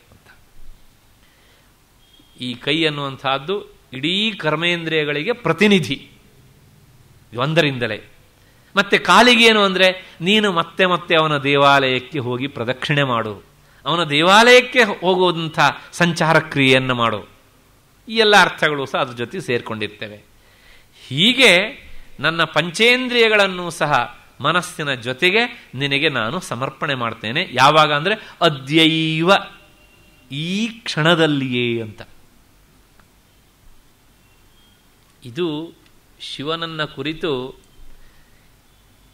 ಅಪ್ಪಯ್ಯ ದೀಕ್ಷಿತರ ವ್ಯಾಖ್ಯಾನಕ್ಕೆ ಯಾವುದೋ ಒಬ್ಬ ಮಹಾನುಭಾವ ವ್ಯಾಖ್ಯಾನಕಾರ ಈ ಮಾತನ್ನು ಹೇಳಿದ್ದಾನೆ. ಅಪ್ಪಯ್ಯ ದೀಕ್ಷಿತರ ಕಾಲ ನಾವು ಯಾವಾಗ ನೋಡಿದ್ದೇವೆ. ಇದಾದ ಮೇಲೆ ಮುಂದೆ ಕುಲಶೇಖರ ಆಳ್ವಾರರು ಅಂತ ಬಂದರು. ತಮಿಳಿನ ಆಳ್ವಾರಲ್ಲೇ ಪ್ರಸಿದ್ಧರಾದವರು ಮುಕುಂದಮಾಲ ಎನ್ನುವಂಥ ಕೃತಿಯನ್ನು ಬರೆದಿದ್ದಾರೆ. ಕೃಷ್ಣನನ್ನು ಬಹಳವಾಗಿ ಹಚ್ಚಿಕೊಂಡವರು. ಅದ್ವೈತಿಗಳ ಅಂತ ನಮಗೆ ಶಂಕರನು ಒಂದೇ, ಕೃಷ್ಣನು ಒಂದೇ. ಈ ಶ್ಲೋಕದ ಜಾಡಿನಲ್ಲಿ, ಯಾಕೆಂದರೆ ಈ ಶ್ಲೋಕದ ಜಾಡಿನಲ್ಲಿ ಅಂತ ನಾನು ಯಾಕೆ ಹೇಳ್ತೇನೆ ಅಂದರೆ, ದೀಕ್ಷಿತರ ಕಾಲ ಆಳ್ವಾರರ ಕಾಲಕ್ಕಿಂತಲೂ ಸಹ ಪ್ರಾಚೀನವಾದದ್ದು. ಹಾಗಾಗಿ, ಅದು ಪ್ರಾಯಶಃ ನಂತರ ಬಂದದ್ದು ಇರಬೇಕು. ಅಥವಾ ಇದಕ್ಕೆ ವ್ಯಾಖ್ಯಾನ ಬರೆದಂಥವರು ಇನ್ನೂ ಅರ್ವಾಚೀನರಾದದ್ದಿದ್ರೆ ಕುಲಶೇಖರ ಆಳ್ವಾರರ ಮುಕುಂದಮಾಲ ರಚನೆ ಆದ ಮೇಲೂ ಸಹ ಇದು ಬಂದಿದ್ದಿದ್ರು, ಬಂದಿರಬಹುದು. ಏನಿದ್ರೂ ಇಲ್ಲಿ ನಾವು ಈ ಶ್ಲೋಕವನ್ನು ಈ ರೀತಿಯಾಗಿ ಶಂಕರನ ಪರವಾಗಿ ನೋಡ್ತೇವೆ ಅಲ್ಲಿ ಕುಲಶೇಖರ ಆಳ್ವಾರ ಕೃಷ್ಣನ ಪರವಾಗಿ ಹೇಳ್ತಾರೆ. ಇದೇ ಅರ್ಥ. ಜಿಹ್ವೇ ಕೀರ್ತಯ ಕೇಶವಂ ಮುರರಿಪಂ ಚೇತೋ ಭಜ ಶ್ರೀಧರಂ. ಜಿಹ್ವೆ, ನಾಲಿಗೆ, ಕೀರ್ತಯ ಕೇಶವಂ ಮುರರಿಪುಂ ಚೇತೋ ಭಜ. ಆ ಮುರರಿಪುವನ್ನ, ಓ ನನ್ನ ಮನಸ್ಸೇ, ನಿರಂತರ ನೀನು ಭಜಿಸು. ಶ್ರೀಧರಂ ಪಾಣಿದ್ವಂದ್ವ ಸಮರ್ಚಯ. ಬಂತು ಕೈ ಮತ್ತೆ. ಓ ನನ್ನ ಎರಡು ಕೈಗಳೇ, ನೀವು ಆ ಶ್ರೀಧರನನ್ನು ಅರ್ಚನೆ ಮಾಡಿ. ಅಚ್ಯುತ ಕಥಾಂ ಶ್ರೋತ್ರದ್ವಯಂ ತ್ವಂ ಶೃಣು. ಕೃಷ್ಣನ ಕಥೆಯನ್ನ, ಓ ಕಿವಿಗಳೇ, ನೀವು ಕೇಳ್ತಾ ಇರಿ. ಯಾವ್ಯಾವುದೋ ಕಥೆಯನ್ನು ಯಾಕೆ ಕೇಳ್ತೀರಿ? ಕೃಷ್ಣನ ಕಥೆಯನ್ನು ಕೇಳಿ. ಮತ್ತೆ ಕೊನೆಗೆ ಹೇಳ್ತಾರೆ ಅವರು, ಕೃಷ್ಣಂ ಲೋಕಯ ಲೋಚನದ್ವಯ ನೋಡುವುದಾದರೆ, ಓ ಕಣ್ಣೆ, ಯಾವುದೋ ಗೋಡೆ ಮೇಲೆ ಇರುವಂಥ ನೋಡಬಾರದ ವಾಲ್ ಪೋಸ್ಟರ್ಗಳನ್ನೆಲ್ಲ ಯಾಕೆ ನೋಡ್ತೀಯೇ? ಕೃಷ್ಣಂ ಲೋಕಯ. ಕೃಷ್ಣನನ್ನ ನೋಡು. ಗಚ್ಚಾಂಘ್ರಿಯುಗ್ಮಾಲಯಂ ಓ ನನ್ನ ಎರಡು ಕಾಲುಗಳೇ, ಕೃಷ್ಣನ ಗುಡಿಗೆ, ಅವನ ಸಾನ್ನಿಧ್ಯಕ್ಕೆ ನಡ್ಕೊಂಡು ಹೋಗುವ ಕೆಲಸವನ್ನು ಮಾಡಿ. ಜಿಘ್ರಘ್ರಾಣ ಮುಕುಂದ ಪಾದ ತುಳಸಿ ಘ್ರಾಣ ಮೂಗು, ಓ ನನ್ನ ಮೂಗೆ, ನೀನು ಮೂಸುವುದಾದರೆ ಆ ಕೃಷ್ಣನ ಪದತಲದಲ್ಲಿ ಸಮರ್ಪಣೆ ಮಾಡಿದಂಥ ತುಳಸಿಯನ್ನು ಮತ್ತೆ ಮತ್ತೆ ಮೂಸು. ಕೊನೆಗೆ ಹೇಳ್ತಾರೆ, ಎಲ್ಲ ಇಂದ್ರಿಯಗಳಾದವು, ಆದರೆ ಮನಸ್ಸು, ಬ್ರೈನ್, ಅದಕ್ಕೊಂದು ಕೆಲಸ ಕೊಡಬೇಕಲ್ಲ. ನೀನು ಬಾಗುವುದಾದರೆ, ಅಂದರೆ ಓ ನನ್ನ ತಲೆಯೇ, ನೀನು ಬಾಗುವುದಾದರೆ ಅಯೋಗ್ಯರಿಗೆ ತಲೆ ಬಾಗಬೇಡ. ಹಾಗಿದ್ರೆ ಮೂರ್ಧನ್ ಅಮಾಧೋಕ್ಷಜಂ. ಅಧೋಕ್ಷಜ ಅಂದ್ರೆ ಕೃಷ್ಣ. ಓ ಮೂರ್ಧನ್, ನನ್ನ ತಲೆಯೇ, ನೀನು ಕೃಷ್ಣನಿಗೆ ತಲೆಬಾಗು. ಆಳ್ವಾರರು ಕೃಷ್ಣನ ಕುರಿತು ಹೇಳಿದರು. ಇಲ್ಲಿ ದೀಕ್ಷಿತರು ಈ ಶ್ಲೋಕದ ಮೂಲಕ ಶಂಕರನ್ನ ಹೀಗೆ ಸ್ತುತಿ ಮಾಡೋಕ್ಕೆ ಬರೋದಕ್ಕೆ ಬರುತ್ತೆ ಅಂತಲೂ ಸಹ ನಮಗೆ ತೋರಿಸಿಕೊಟ್ಟಿದ್ದಾರೆ. ಹಾಗಾಗಿ ಈ ಎರಡು, ಮೂರು ಶ್ಲೋಕಗಳನ್ನು ನಾವಿವತ್ತು ನೋಡಿದ ಹಾಗೆ ಆಯಿತು. ಮತ್ತೆ ನಾವು ಇನ್ನೊಂದು ಶ್ಲೋಕವನ್ನು ಇವತ್ತು ನೋಡಿಬಿಡೋಣ. ಇದು ಮತ್ತು ಪುನಃ ವೇದಾಂತದ ಹಿನ್ನೆಲೆಯಲ್ಲಿ ಬರುವಂತಹದ್ದು ಹದಿನಾರನೆಯ ಶ್ಲೋಕ. ಏನು ಅಂದರೆ ಯಸ್ರಷ್ಟಾರಂ ನಿಖಿಲ ಜಗತಾಂ ನಿರ್ಮಮೆ ಪೂರ್ವಮೀಶಃ. ತಸ್ಮೈ ವೇದಾನ್ ವದತಿ ಸಕಲಾನ್ ಯಶ್ಚ ಸಾಕಂ ಪುರಾಣೈ ತಂತ್ವಾಮಾದ್ಯಂ ಗುರುಮಹಮಸಾವಾತ್ಮಬುದ್ಧಿಪ್ರಕಾಶಂ ಸಂಸಾರಾರ್ಥ ಶರಣಮಧುನಾ ಪಾರ್ವತೀಶಂ ಪ್ರಪದ್ಯೆ ಸಂಸಾರಾರ್ಥ ಶರಣಮಧುನಾ ಪಾರ್ವತೀಶಂ ಪ್ರಪದ್ಯೆ ಈ ಶ್ಲೋಕದಲ್ಲಿ ದೀಕ್ಷಿತರು ಏನು ಹೇಳ್ತಾರೆ ಅಂದರೆ, ಸೃಷ್ಟಿಕರ್ತನಾದ ಚತುರ್ಮುಖನನ್ನೂ ನೀನು ಸೃಷ್ಟಿ ಮಾಡಿದ್ದೀಯೇ ಎನ್ನುವಂಥ ಮಾತನ್ನು ಉಪನಿಷತ್ತಿನ ಹಿನ್ನೆಲೆಯಲ್ಲಿ ಹೇಳ್ತಾರೆ. ಏನು ಇದರ ಅರ್ಥ ಅಂದರೆ, ಹೇ ಶಿವ, ನೀನು ಸರ್ವಸಮರ್ಥನಿದ್ದೀಯೇ. ಸರ್ವಸಮರ್ಥ ಅಮ್ನೀಷಿಯಂಟ್ ಎಲ್ಲವನ್ನೂ ಮಾಡವಲ್ಲವಂಥ ಶಕ್ತಿಯನ್ನು ನೀನು ಹೊಂದಿದ್ದೀಯೇ. ಆದ್ದರಿಂದಲೇ ಈ ಚರಾಚರ ಪ್ರಪಂಚವನ್ನು ಸೃಷ್ಟಿ ಮಾಡುವಂತಹ ಚತುರ್ಮುಖನನ್ನ ನೀನು ಸೃಷ್ಟಿ ಮಾಡ್ತೀಯೇ. ಇಲ್ಲಿ ಶಿವ ಎನ್ನುವಂತಹ ಶಬ್ದದಿಂದ ಸಗುಣ ರೂಪದ ಶಿವ ಅಂತ ಅರ್ಥ ಅಲ್ಲ, ಶುದ್ಧ ಚೈತನ್ಯ ಬ್ರಹ್ಮವಸ್ತು ಅಂತ ಅರ್ಥ. ಹಾಗಾಗಿ ಈ ಸೃಷ್ಟಿಗಿಂತ ಮೊದಲು ನೀನು ಅವನನ್ನು ಸೃಷ್ಟಿ ಮಾಡ್ತೀಯ. ಆಮೇಲೆ ಸೃಷ್ಟಿ ಮಾಡಿ ಆದ ಮೇಲೆ ಅವನಿಗೆ ನೀನೇನು ಮಾಡ್ತೀಯ ಕೇಳಿದರೆ ಸಮಗ್ರ ಪುರಾಣ ಸಾಹಿತ್ಯದೊಂದಿಗೆ ಸಮಸ್ತ ವೇದರಾಶಿಯನ್ನು ನೀನವನಿಗೆ ಉಪದೇಶ ಮಾಡ್ತೀಯೇ? ಧಾತಾ ಯಥಾ ಪೂರ್ವಮ ಕಲ್ಪಯತ. ಅಂತ ಇದು ವೇದದ ಮಾತು. ಅಷ್ಟಾದ ಮೇಲೆ ಆ ವೇದ ಸಾಹಿತ್ಯವನ್ನು ಉಪದೇಶ ಮಾಡಿ ಮತ್ತೆ ಅವನಿಗೆ ನೀನು ಸೃಷ್ಟಿ ಮಾಡು ಎನ್ನುವಂತಹ ಪ್ರಚೋದನೆಯನ್ನು ಕೊಡ್ತೀಯೇ?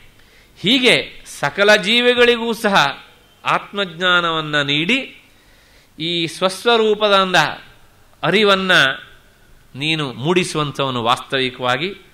ಇಂತಹ ಆದಿಗುರು ನೀನು.